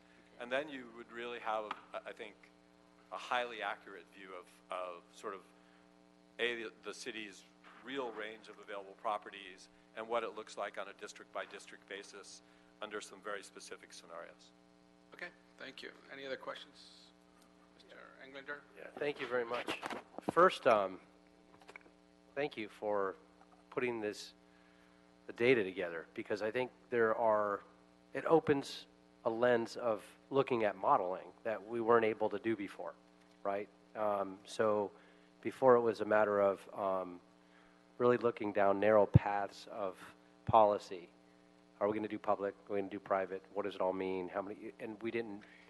It's really an un, uninformed decision, and I think it's what's taken so much of the discussion um, in getting us to this point is trying to figure that all out. What do, what do we have to work with so far in the space in terms of rules and regulations, from obstacles and opportunities of what land is out there, what's available, what's not, what do we want, what don't we want, what does that mean in the space of takedown, and how does that equal out to different council districts? And I think, um, you know, Bob said it earlier. I mean, it's not one size fits all. Not every council district wants everything the same way, and yet, but the policy sort of has to be that way. Um, and and having an equation with a baseline of and a ceiling of, um, here are the, the the the districts that have uh, very populated sign areas that, that have a lot of signs, and coming up with that, that equation to say, here's how we uh, sort of neutralize it and uh, make them all equal, equal makes, makes a lot of sense, actually, and it's a, I think it's a fascinating approach. Um, I think in, in looking at where the, the chair was asking, um, now that we have at least much better data than we had, um, I won't say it's perfect, and I think there are some issues just because gathering it um, from antiquated sources, you're going to have difficulties. But um, but with that, it's certainly better than what we've ever had. We can actually look at some modeling and some scenarios and what that might mean. I, for one, as an example, um, yield the least, uh, which is probably I've been more supportive, right? Um, and I've known that because you don't have to actually count signs to drive around my district and then drive around anywhere else in the city to see. I just have the least. Now, on the flip side of that, is I, I also have some very annoying, and many of them, the very small ones, that would love to get rid of, um, and in exchange for digital with conditions and restrictions. I also have probably the least opportunity to be able to take advantage of that um, because I don't have a lot of the public um, spaces and land. So I'd have to utilize some private to get there. And, and, and that's why coming up, I think, with some kind of hybrid of, um, of a public and private would afford us both on the revenue side, um, but also on the takedown side, which I think is equally important, even though I have the least amount of impact, I still have a significant, even being the least, a significant impact um, that people really don't like in exchange for um, what's what I would consider very palatable. Um, things that would have the conditions of illumination that you described, things that would have the opportunity for PSAs and emergency messaging, as particularly as we just came out of evacuations and the fires and knowing that those could be fully utilized for first responders and those communities, um, especially in equestrian areas and other places. So I look at that opportunity, and um, and I don't know how what the next step would then be to model because now we have the opportunity to model different scenarios. All right, um, but I'd like to see uh, when we come back a model that also gives uh, me an opportunity to take some of those smaller boards down and put some of the digitals up, but it would have to be public and private. Um, otherwise, once again, we're not able, able to participate and, and, and, and a lot of places in the valley won't be able to participate um, with that opportunity. And, So I- uh, and so that's, that's what I'd like to see is, is sort of a hybrid of both. And, and Councilman, I think, you know, one of the things that we talked about is that as you move forward and as you're negotiating with the, the various suppliers of digital signs, one of the things that we think that the city will now have is the ability to really look at, so what, are, what is the real revenue potential from various uses and various sites and various concentrations? Some of the cities that we looked at in the study have very limited areas. They have high saturation in a very limited area with very high fees. And they've said, we're going to be very specific, and they based it very much on traffic patterns. You know, with the programs like Waze and Google Maps, you can calculate at a very accurate level the number of cars that pass by exactly at what times of day, mm-hmm. what messages they want to see at certain times. With the, the mapping software that we use and some other tools, you'd have the ability to really say, in my district, what are the sites I most want to develop and why? What would that be worth to a billboard company if we were to do that? And what are the impacts uh, along the way? And so I think that's a tool you didn't have before. And I think, so, you know, technology can be great, technology can be not so great. In this particular case, um, the, the geomapping software is really, really a very powerful tool. And if you model it with the financial models, you can do the type of things. You can say, what are the impacts of this particular policy decision? And if I wanted to restrict it, where could I restrict it and make the most amount of money for the city to offset other things? Yes, I do think you'll be able to do that. I think the key in that is feeling really comfortable with the data. You know, not to a 105% category, but you know, closer to 80 or 85 percent, which it's not there yet. But I do think you'll have the information that you want to make those kind of decisions. Appreciate it. Thank you. Thank you. Any other questions? Mr. Price? Yeah, thank, thank you, Mr. Chairman. Uh, Again, thank the, uh, one of the consultants and uh, staff for their work, efforts in, in in bringing this in, uh, and this committee's efforts, Mr. Chairman. Uh, I I too just want to make sure that, uh, you know, our area is not disadvantaged by whatever the rules or regs are that we, that we are developing. As I mentioned before, the report reflects that uh, District 9 has the second highest number of static off-site signs, and yet the uh, 713, uh, but the lowest number of digital signs at two uh, in the city. And so um, yeah, I'm curious, when we talk about the separation distance in in that scenario, city-owned properties, Caltrans highways, and scenic uh, highways, uh, can you talk about how that impacts a district like mine, where we've got the freeway running north and south, 110, and then, portion running uh, east and west along the 10, uh, how that area is disadvantaged by uh, by that? So our report model was based on the PLUM Directive. So all the restrictions that were in the PLUM Directive, um, as well as some the current sign code. Um, so specifically, you pointed out highways. Uh, we used a 660-foot buffer consistent with Caltrans um, for public properties. We also did a separate scenario that modeled it without that 660-foot buffer, specifically for public properties. Um, but other than that, we applied a 2,000-foot buffer um, for private properties, and that's consistent with the current sign code. We also used a number of other buffers, um, again, consistent with the PLUM Directive, a 250-foot buffer for sign districts, um, existing sign districts, that is, um, and a 100-foot buffer for residential districts, or zones, sorry, um, and a 200-foot buffer for residential zones. So we tried to model a variety of different um, policies that the city may implement. Um, and again, uh, like my colleague was saying, we can model um, different restrictions, but we'll just need further refinements from the PLUM Committee. If, if you were interested in knowing, well, what if I change the setbacks? Right. Right? And what if I change, we can do that quite easily. Um, so it, it isn't like we have to start all over. Right. It's a matter of we change the filters. Um, so i- if you wanted to say, what would be a reasonable policy variation for my district because it looks and feels different, right? It has different uh, infrastructure in it. We can do that. Uh, Well, I definitely want to do that, to try to do a little deeper dive and, and- and to identify um, uh, issues that uh, could be affected.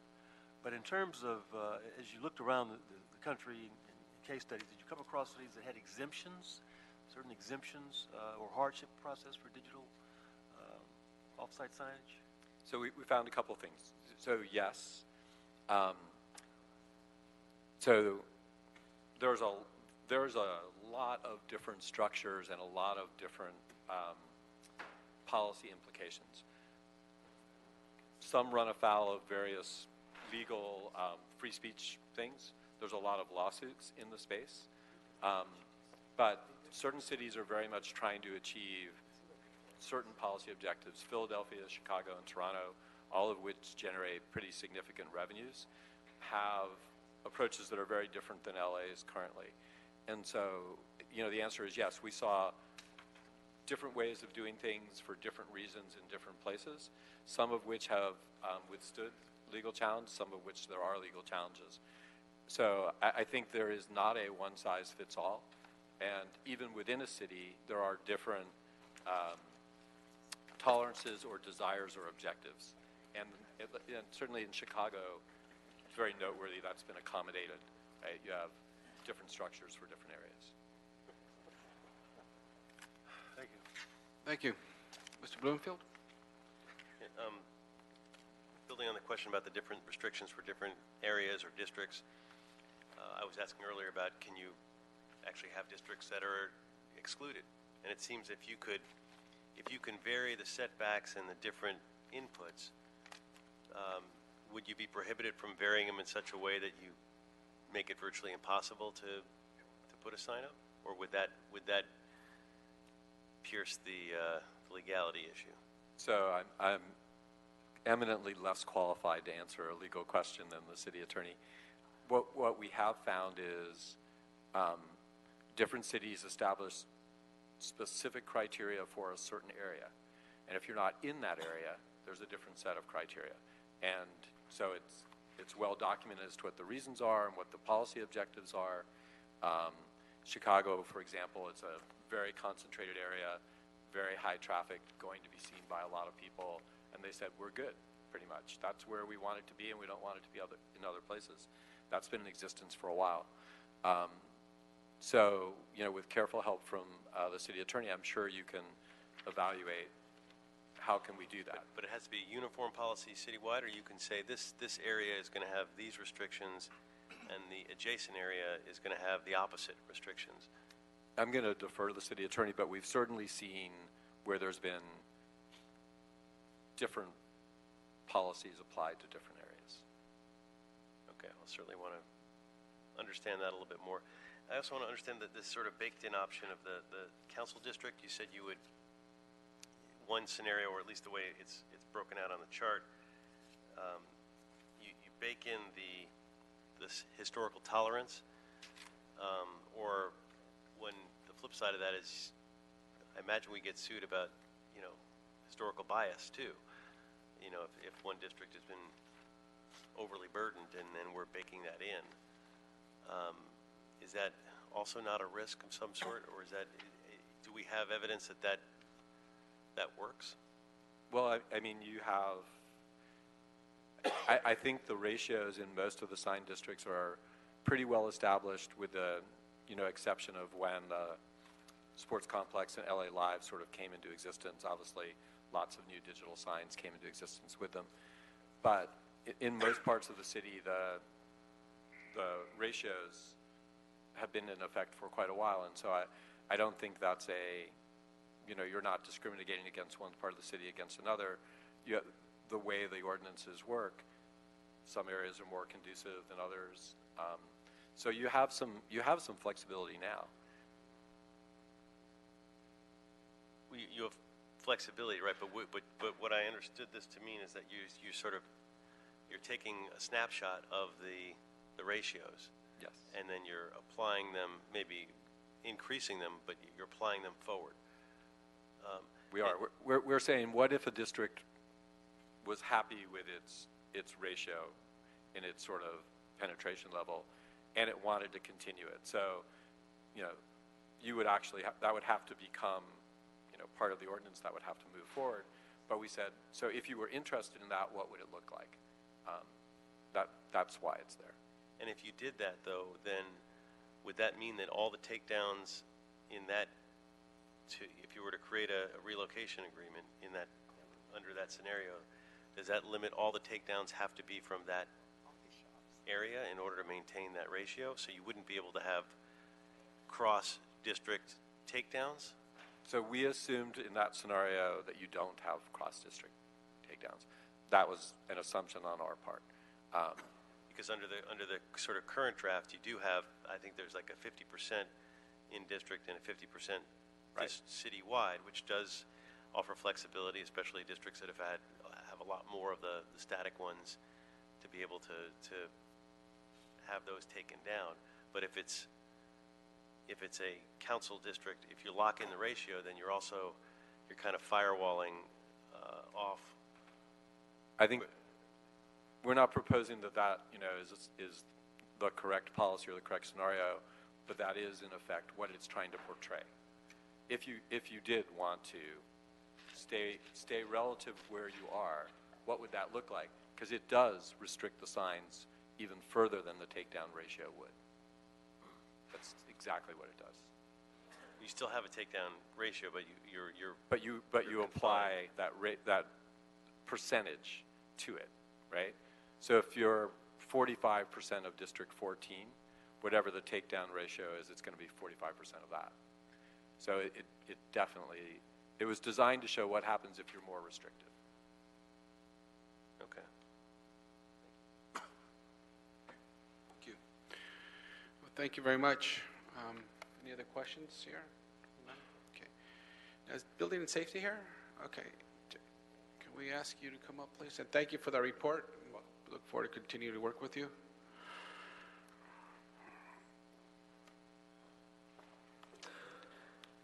I, I ha- I actually have a question for you, but I'm, I'm wondering as well, do you have uh, any additional reporting to make on this? Ye- Yes, I do, Councilman. Go By the ahead. way, Good afternoon, council members. Frank Lara, representing Department of Building Safety. Go, go right ahead. Okay, thank you.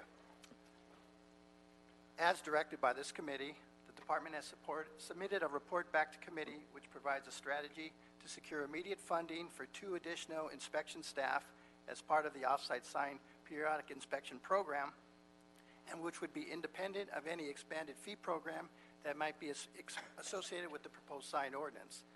The department has worked with the Office of City Administrative Officer and supports the recommendation that unfunded resolution authorities on two building mechanical inspectors would be fully funded through existing fees. The department concurs that the cost could be offset through the collection of code violation inspection fees and non-compliance fees, which are typically assessed on department orders to obtain compliance. Therefore, we recommend that in order to secure immediate funding for these positions, that the council, subject to the approval of the mayor, authorize by resolution the two positions within LADBS to provide additional sign enforcement. The department has also included in the report our concerns with implementation of proposed civil administrative penalties. The proposed provision states in part that the assessment of civil penalties established in this section shall replace any other administrative or judicial remedies established by this code to address violations of the sign regulations.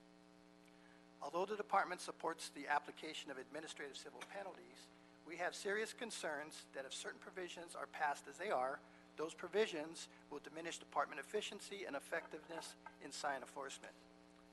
One concern is that the proposed language would create an unnecessary adversarial relationship with on-site sign owners that may complicate and lengthen the compliance process. This proposed provision requires that civil administrative penalties be imposed for all sign violations, from the smallest on-site business sign to the largest off-site billboard. Presently, the vast majority of sign enforcement is conducted on on-site signs. Our current enforcement procedure of issuing orders to comply and assisting sign owners to remedy these violations has been extremely effective to resolve most of these cases. Whenever an on-site sign owner is resistant to the enforcement process, the city attorney has been very effective in obtaining compliance through a hearing process or subsequent criminal court action. LADBS contends that applying civil administrative penalties for enforcement of on-site sign violations is unnecessary and excessive. A second concern is with the 16-day interval prior to the assessment of the penalties. Proposed provision for the assessment, assessment of those penalties indicates that penalties will begin to accrue on the 16th day after the effective date shown on the order to comply. LADBS contends that this interval is too short for sign enforcement. The 16-day interval will replace current LADBS enforcement procedure and timelines, which have been proven to provide effective results and reasonable due process when escalation of cases has resulted in litigation or criminal filings. Department asserts that a premature assessment of penalties will be counterproductive to sign enforcement. A third concern is that staff time and other costs related to collection of penalties will become overly burdensome. Based on many years of code enforcement experience, the department warns that collection of these new penalties is likely to become a challenging undertaking. LADBS has experienced that a significant number of fee assessments have required enhanced collection efforts, which include lien processing. Collection of penalties on the large number of on-site violations would become burdensome in terms of city staff and other costs associated with collection activities. Our remaining concern is that the appeal provisions in Section 14427 are logistically challenging and inconsistent with existing appeal procedures. The proposed appeal provisions in this section are likely to be viewed as a favorable action as many sign violators uh, due to the provision to temporary stay the accrual of penalties. The significant number of potential appeals and the logistically challenging proposed proce- procedure to process those appeals will place unreasonable demands on city staff. These proposed provisions should be amended to parallel existing efficient administrative appeal provisions in other parts of the municipal code. These stated concerns provide the basis for the department to recommend that the committee instruct the Department of City Planning, Department of Building and Safety, and the city attorney to jointly report back with amended provisions for civil administrative penalties to be ex- applied exclusively to off-site sign violations, that the time interval preceding the commencement of penalties be amended to allow for LADBS to exhaust normal enforcement procedure, and that the appeal provisions in Section 14427 be amended to be consistent with other existing appeal uh, procedures in the municipal code. So, council members, I'm prepared for questions. Okay, great, thank you. Actually, my question was answered there. Any questions? Mr. Blumenfield? Yeah, um, in your, in your opinion, how much gaming of the system occurs with the on-site signage covertly being used for off-site advertising? And could this be exacerbated by the sort of generous allocations for on-site digital? And uh, what options do we have for curtailing this kind of behavior or limiting the, the on-site digital?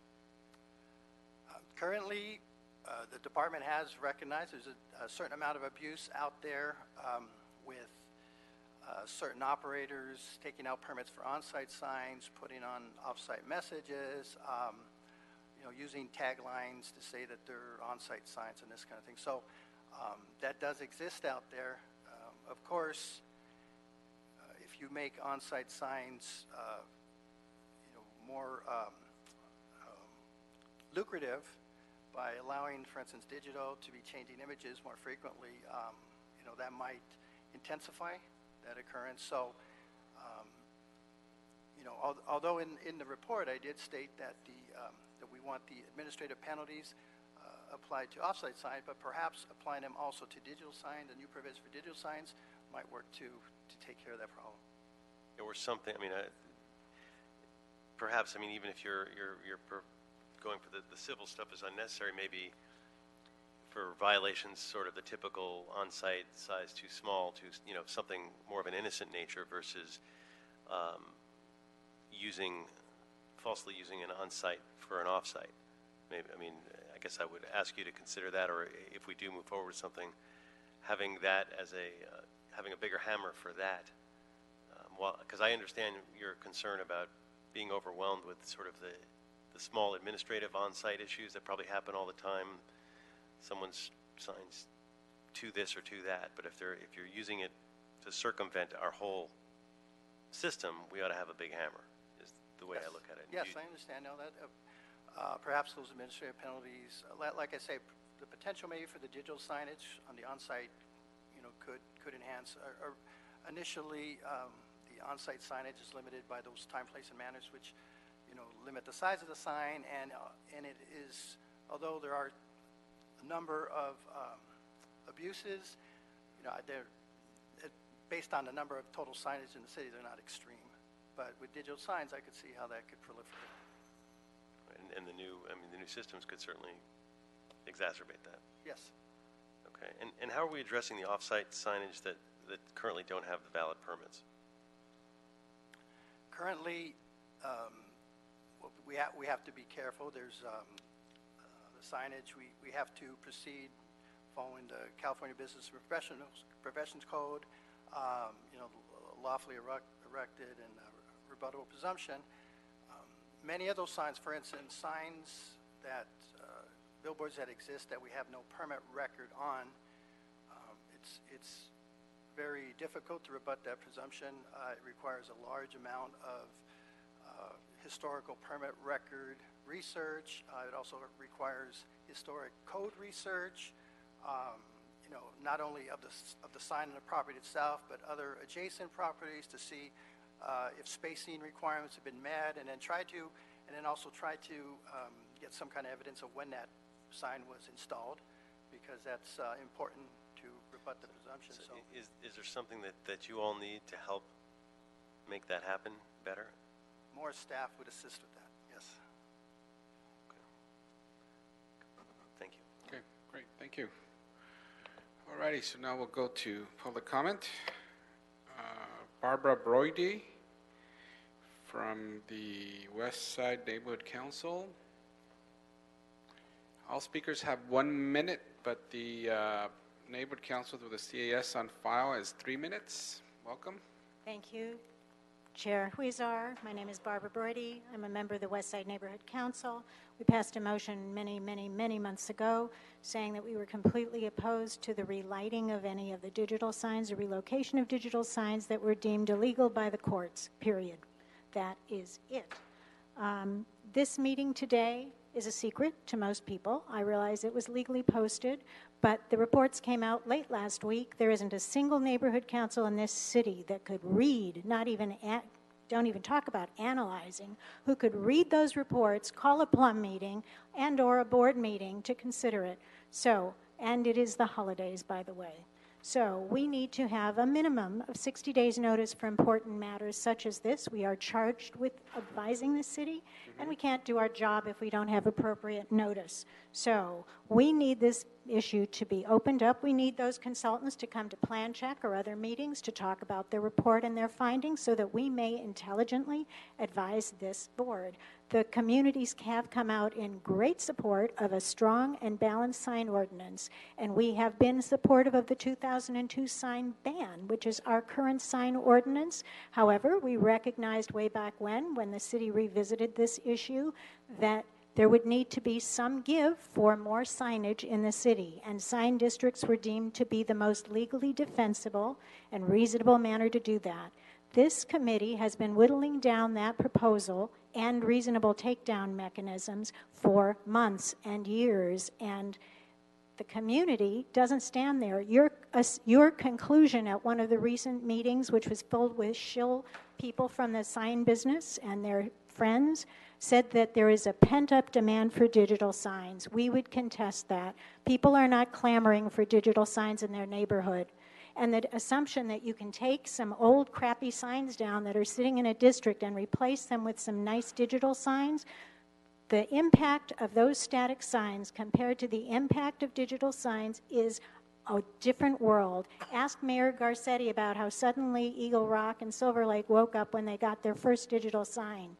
I can tell you what it's like because we had one intersection two blocks from my house where there were three digital signs at one intersection. And you never talk about driver distraction and pedestrian and bicycle safety with these signs. Where is that discussion? You talk about money you can get. What happens when the first cyclist is killed by a distracted driver who's watching the digital sign? We know they're designed to distract and we know they're supposed to catch the eyes of drivers. That's their purpose. So, lots of issues to discuss. We need more time to do it. Uh, The takedown of two to one is completely unacceptable. uh, and litigation. We're worried that what you're looking at cannot be legally defended. This city has a huge and sordid past with Okay, litigation. Thank you.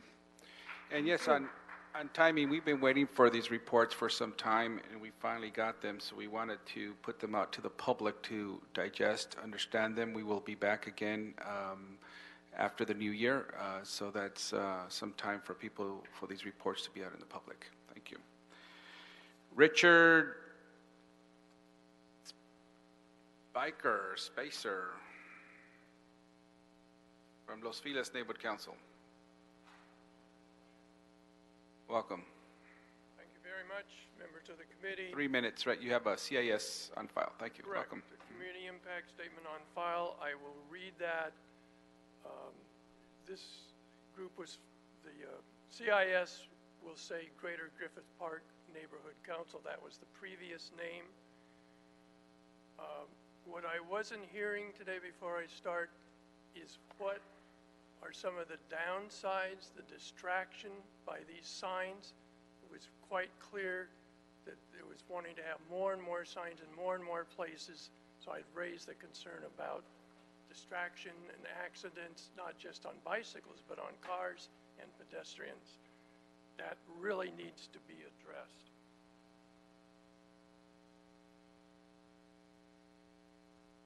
Um, The Greater Griffith Park, this light is not great. Uh,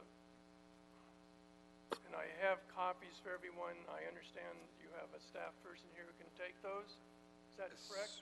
Yes. Can you distribute them, please? Our Sergeant at Arms will get those from you.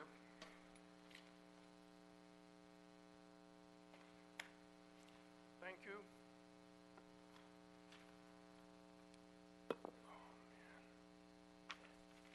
Uh, This board spon- uh, supports um,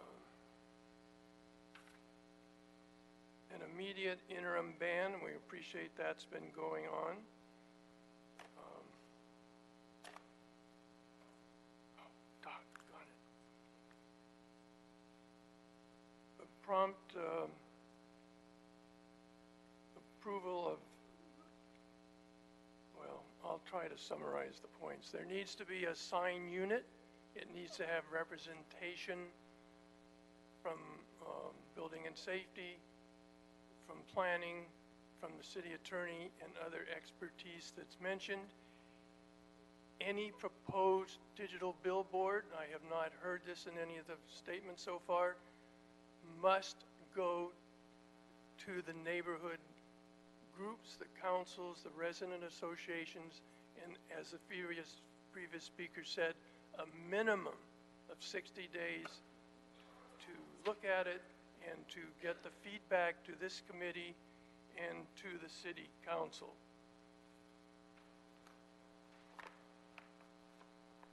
We uh, do need to have a sense of the schedule. You've given some suggestion for that.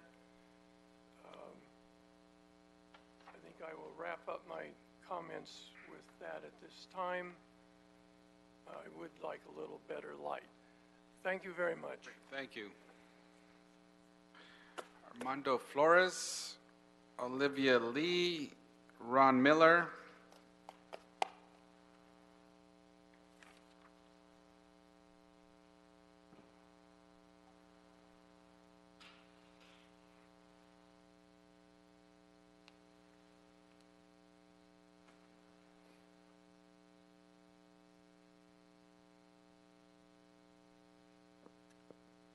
Welcome.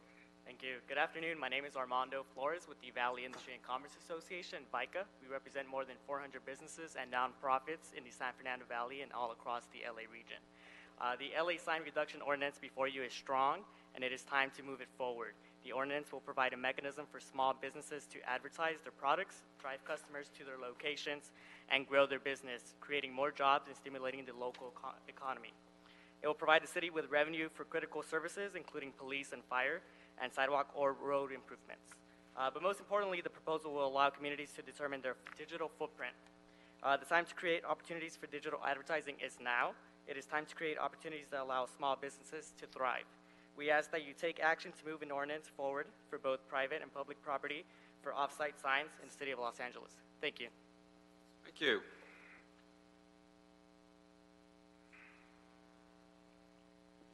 Good afternoon, Olivia Lee with the Los Angeles Area Chamber of Commerce.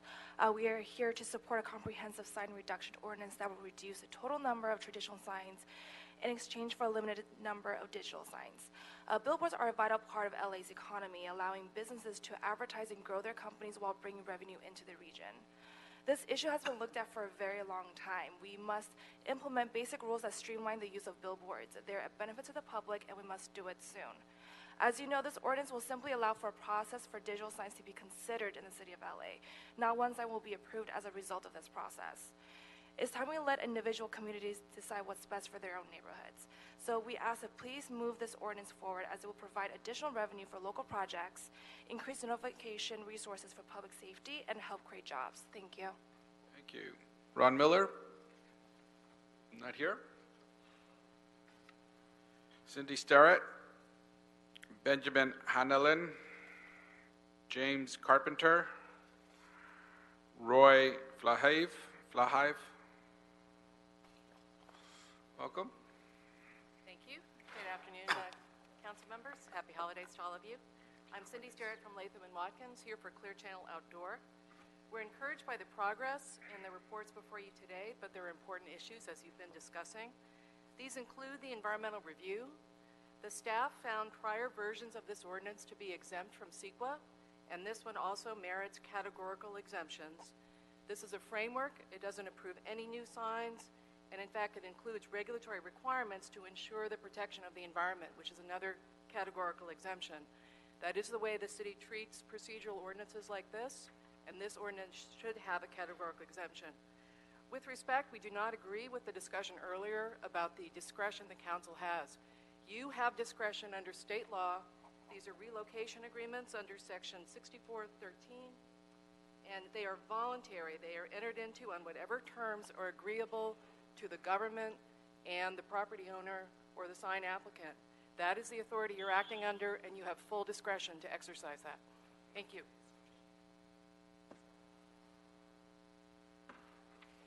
Good afternoon, honorable council members. Benjamin Hanelin of Latham and Watkins, also on behalf of Clear Channel Outdoor. We appreciate that the Navigant study confirms the key role of relocation agreements in reducing the number of existing billboards and that many other cities use this important tool. However, the study's revenue estimates regarding a public property only option are flawed. The, the study merely plots dots on a map to create the false impression that public property alone would allow for significant sign reduction and revenue generation. No support is provided to show that any of these locations are commercially viable.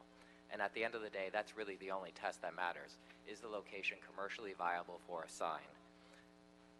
Additionally, it ignores the fact that sites owned by other entities such as Metro would keep a large portion of the revenue for their own benefit.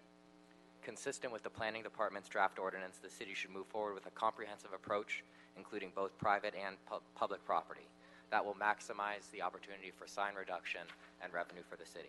Thank you. Thank you. Next is, welcome.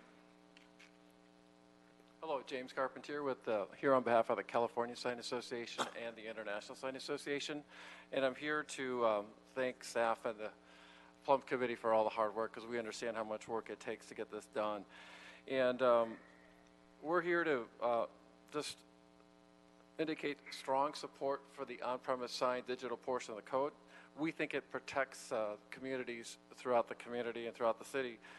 And one of those main protections is um, there's a recorded deed restriction that is placed on each property that uh, requires compliance with the on and off messaging, which was talked about before, which is one of, although I would consider it the strongest regulation of that type of any place I've seen anywhere in the country. So I just wanted to mention that. And with that, I just uh, respectfully request your support of the ordinance. Thank you. Thank you. Roy, Patrick Frank, Barbara Utis, Marion Dodge. Good Welcome. evening, Roy Flahive. I'm the Executive Director of the California Sign Association. We represent your on-site sign industry in the state of California, and we have since 1959. We're here to give our strong support to the revised proposed code put forward by the Planning Department. Especially in regards to the on-site digital. We want to thank the planning department for their hard work on that very important section of the code.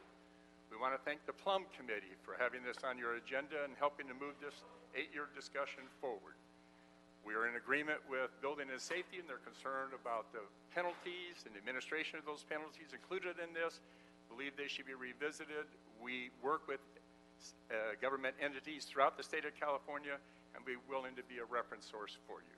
Thank you very much. Thank you. Welcome.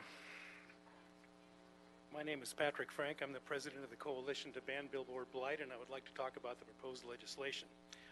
Um, it- we, we define billboard blight as digital signs outside of sign districts. And, and I can see that the proposed legislation envisions a reduction in the total number of signs, but this comes at a very high price in terms of the addition of hundreds, literally hundreds of new digital signs. The proposed bill has these relocation agreements which are very permissive. They're very loose and they allow off-site and on-site signs. On-site signs were not a part of the original Planning Commission report, so this is a novelty that we're not quite ready to adjust to yet. The, the, the re- relocation agreements seem to allow a digital sign on nearly any lot with the, with the word commercial in its designation. If that doesn't define billboard blight, I don't know what does.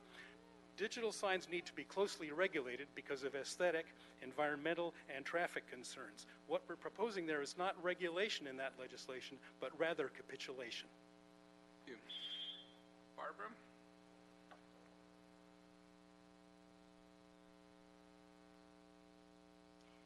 I'm Marion Dodge. I'm speaking on behalf of the Hillside Federation, the Los Feliz Improvement Association, and Friends of Griffith Park. We support the City Planning Commission's recommendations of October 22, 2015. We oppose any and all efforts to allow digital billboards outside of sign districts. We particularly oppose any attempt to permit billboards on city property, especially in city parks. You can regulate content on public property. Section 1584 prohibits off-site signs in state and national parks, but not from city parks, likewise on-site signs. The buffer around sensitive areas used to be 500 feet. It's now a mere 100 feet. The new relocation policy and on-site sign policy is a pure giveaway to the sign industry. The only ones who are going to make a lot of money off of billboards are the sign industry. So many changes have been made that the ordinance should go back to the CPC for further review. Thank you. Thank you. Phil Recht, Miriam Valencia, Piedmont Brown, Victor De La Cruz, Rabbi Jonathan Klein.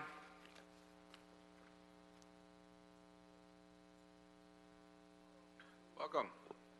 Uh, Thank you. Good afternoon. Excuse me. Uh, Phil Recht, representing uh, Summit Media.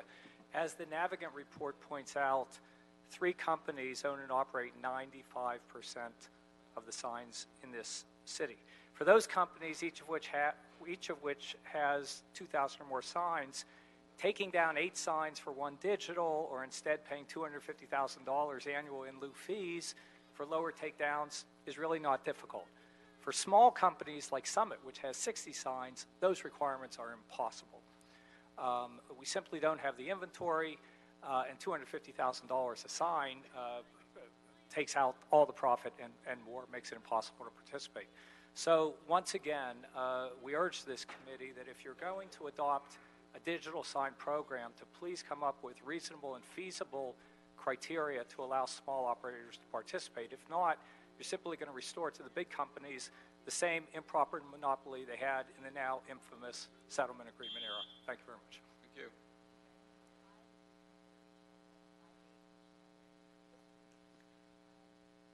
Good afternoon, Mary Valencia on behalf of Outfront Media. Thank you, Councilman Huizar and committee for moving this forward.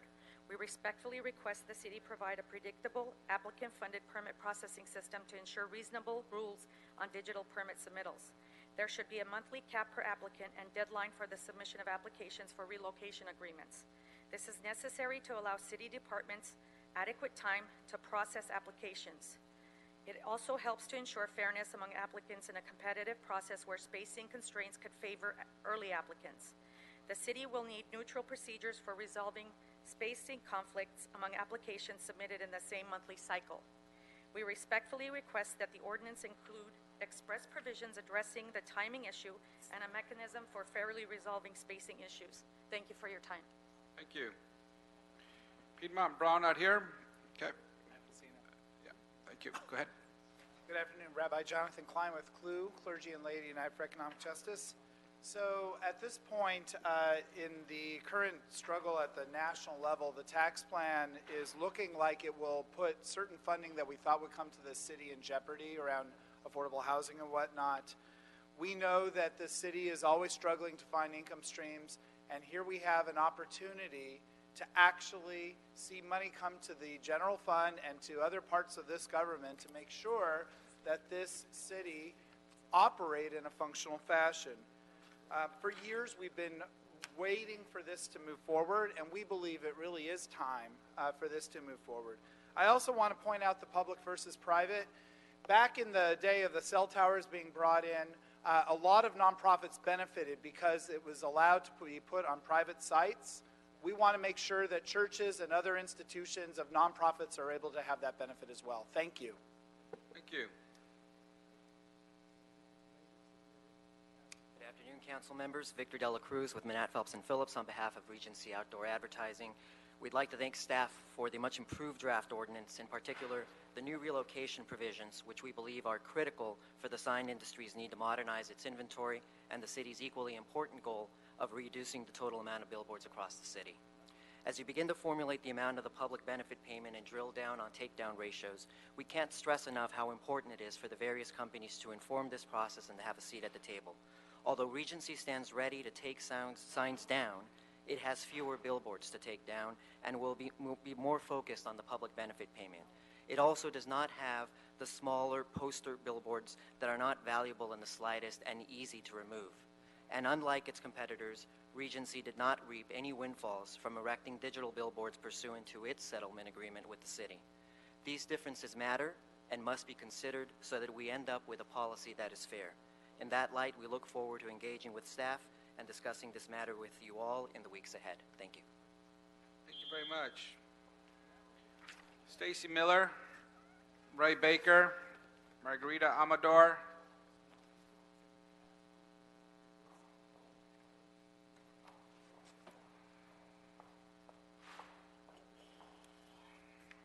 Good afternoon, uh, Chairman and committee members.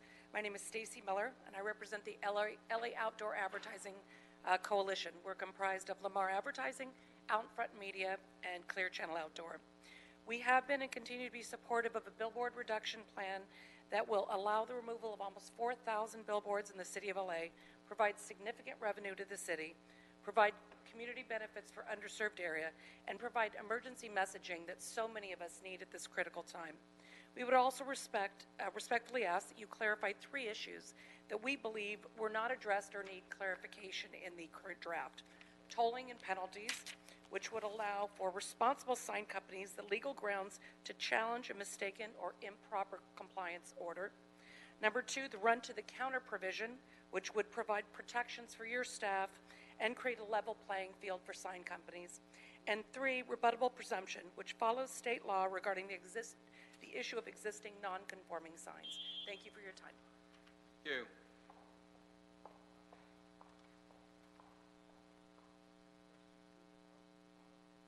Good afternoon, committee.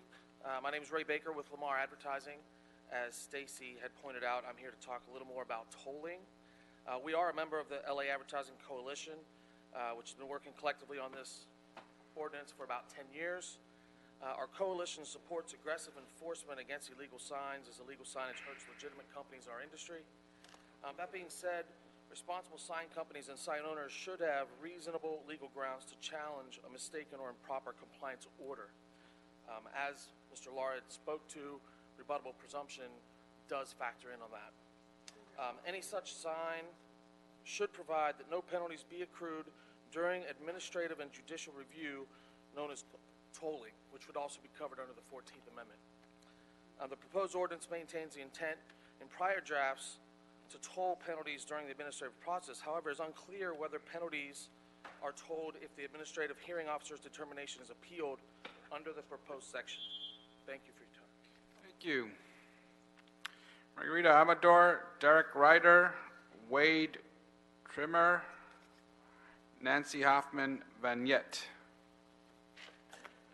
Good afternoon. I would like to request uh, under uh, special accommodation under the American with Disabilities Act due to my dyslexia in order to be able to read my statement, if that's possible. Sure. Um, An extra minute, just so that I'm uh, able to. one second, please. Uh, and and uh, go back to one minute, please. One second. I, this is the first time I encounter this, but we will accommodate this, and uh, I think we'd have to revisit this as well in the future with our um, city attorney and, and staff to. Go ahead, ahead. I think it's a good idea just to let her have the extra time now. Yeah. Okay. Yeah. Go ahead. Two minutes, please. Thank you. Uh, Uh, Good afternoon. My name is Margarita Amador, and I'm a resident of uh, CD14, Boyle Heights. Uh, I grew up in Pico-Aliso, Aliso Village. Uh, I've been there all my life. Um, I'm also very active in my community through, I've been involved in my neighborhood council, the community police advisory about Hollenbeck, and also I've been, um, you know, involved at my park. Um, as you heard today, uh, council district has the most billboards. That's disturbing. Uh, I'm here to express my support for the proposed updates to Los Angeles sign ordinance so that we can finally see some relief after so many years. Give us a chance to remove thousands of billboards and receive much needed revenue for our city in exchange for a few digital billboards. On behalf of my community, I strongly encourage you to move ahead with this ordinance on both private and public property so all of Los Angeles can have a greater control when it comes to billboards in our neighborhoods. It's time for all of us to benefit. There's no reason to wait. Um, I think this ordinance is going to really help, especially our community, in bringing um, resources that we lack um, because there's a disparity in services um, that we don't have, that people in the west side have. And obviously, because we have a lot of billboards, we have the most than people in the west side. I think um, it's extremely important for this ordinance to move forward um, so that, you know, our community can continue to preserve its rich, historic, and beautiful um, community that we are known for. Um, um, and I invite you to come see the horrific blight of billboards that we have. So thank you again for accommodating me. Thank you. Derek Ryder, Wade Trimmer, Nancy Hoffman Vanyek. Good after, good afternoon, council members. Derek Ryder, resident of Mount Washington. As our elected representatives, you know you represent us and not corporations. Unfortunately, if you pass the draft site ordinance as amended, you will be sending the message that you favor the billboard companies over us, uh, your constituents. As constituents, neighborhood councils, and regular people, we've made the case again and again um, that that these amendments will provide toothless regulations which will sanction the illegal billboards and add new, larger, intrusive digital signs to our public space. But if you side with the billboard companies, you will do more damage than shoving more signage into our children's faces. You will be uh, confirming the appearance and reality that PLUM and City Hall is on sale to the highest bidder. As architect and advocate of urban housing, I'm often challenged by my neighbors who are anti-development because they distrust City Hall. This distrust of you, elected officials, is hard to overcome when you pass ordinances like the current draft, and City Hall appears to be in the pocket of billboard companies rather than serving the people's interests. By passing this draft, you will be causing damage not only to our public space, but to the credibility of City Council as a democratic body able to provide leadership on tough issues. Great. Thank you very much. Sir, can I ask you a question? Sir? Um, And thank you. I mean, it's, it's my job as chair to put out everything that's available. We're putting out various options. And so we're going to put out all those options and come back and decide. But let me ask you this. A district like mine that's been dumped on, and we have thousands of billboards, many of them that are not even registered with the city, and this has been happening for decades. I mean, we have to have a mechanism so that we take some of those down because we've been dumped on with billboards. And so I think there's various perspectives on this conversation. If you have some ideas on how we could move forward to take down some of those billboards in, in communities throughout the city that have been dumped on, we're welcome and open to them. Because if we do try to take them down, even now, even though they put them up probably illegally, it's very difficult for us now to go take them down. So we're open to any ideas, and we obviously do not want to put that burden on other communities, but there's various things out here. Uh, we ask those who have the same perspective to please come up with ideas on how we could have more balance on this. Yeah, if you have working sessions that I could contribute to, I'd be happy to be Okay. part of that. Thank you.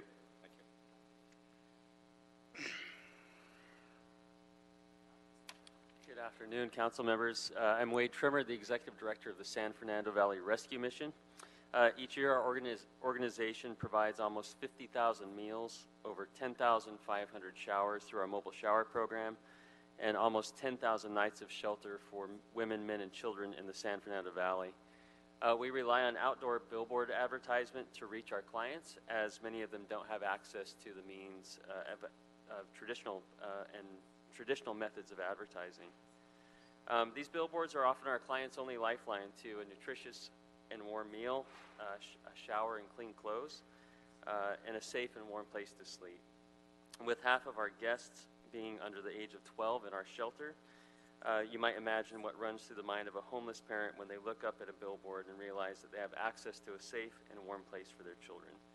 Uh, I ask that you move forward with the policy for the good of our homeless families and for the community. Thank you. Thank you. Nancy Hoffman Vanyek. Hi, I'm Nancy Hoffman Vanyek. I'm the CEO of the Greater San Fernando Valley Chamber of Commerce, and we are in support of the comprehensive sign ordinance. You know, um, 46 states have enacted comprehensive sign ordinances allowing for the reasonable and responsible use of digital and traditional signs, and we need to also have the ability to join them where we have the ability to take them down and put them up in a reasonable manner.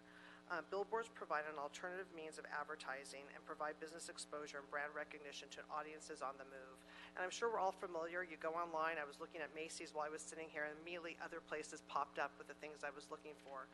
These impressions are short, but that's what consumers are looking for today. And my chamber members are looking for quick ways to reach their customers. So we look to you to approve the sign ordinance that has come before you. Thank you. Uh, Concludes public comment. Any other questions from our staff? I mean, from our committee members? No? Okay. I have some report back requests before we. Sure, Mr. Um, You are disrupting this meeting, sir. If you have any concerns, please speak to the uh, Sergeant at Arms. The Sergeant at Arms will relay that message to me. Sir, you come to every meeting, you know the rules. If you disrupt this one more time, we're going to ask you to leave again. Okay, you're asked, you're being asked to leave right now. Thank you very much, sir. Okay, thank you very much, sir. Okay, we will continue this meeting. Uh, Any questions? Any uh, questions, Mr. Blumenfield? I have some requests for some re- report backs, but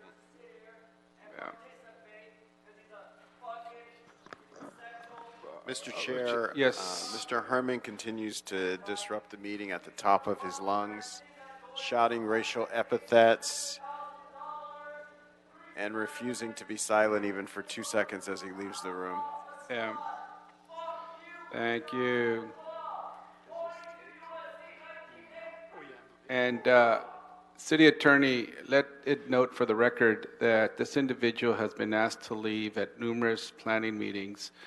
And uh, I know there are certain rules about how we can bar individuals from not coming to meetings.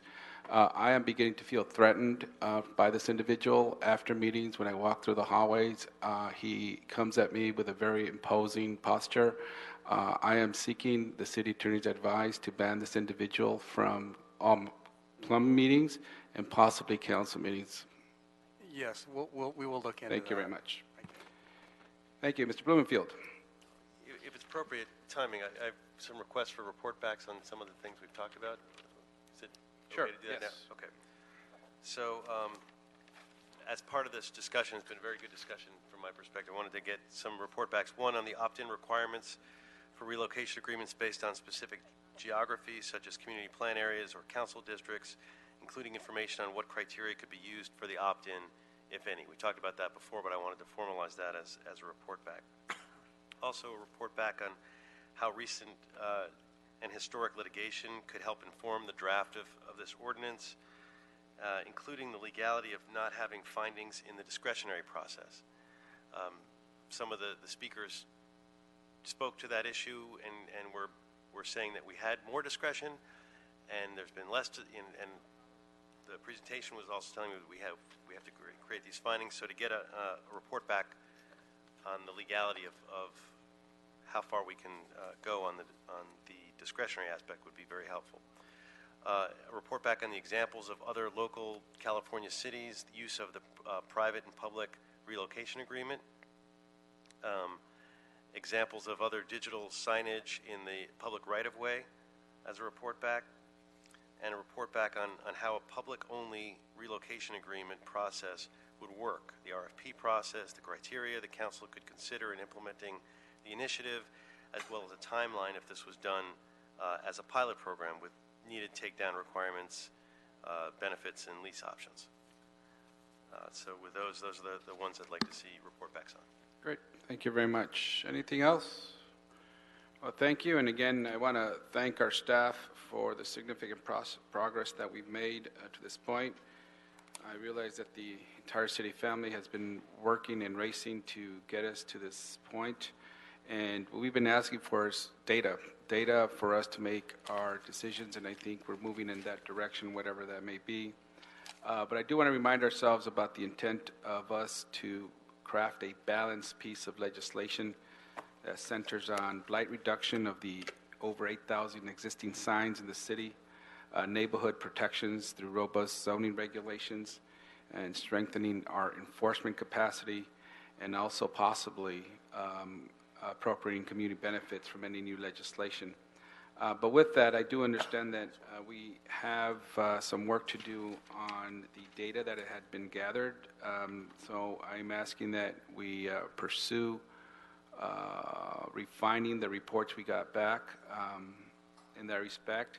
So in addition to the report backs that we, uh, Mr. Blumenfield had asked for, I move to instruct the CLA to report back in 60 days with an amended financial study that better takes into account neighborhood protections and physical site constraints, namely to filter out properties that would not be appropriate sites for billboard relocation, such as DWP facilities, LAPD, fire department stations, LA River properties, and any other property not consistent with our policy goals.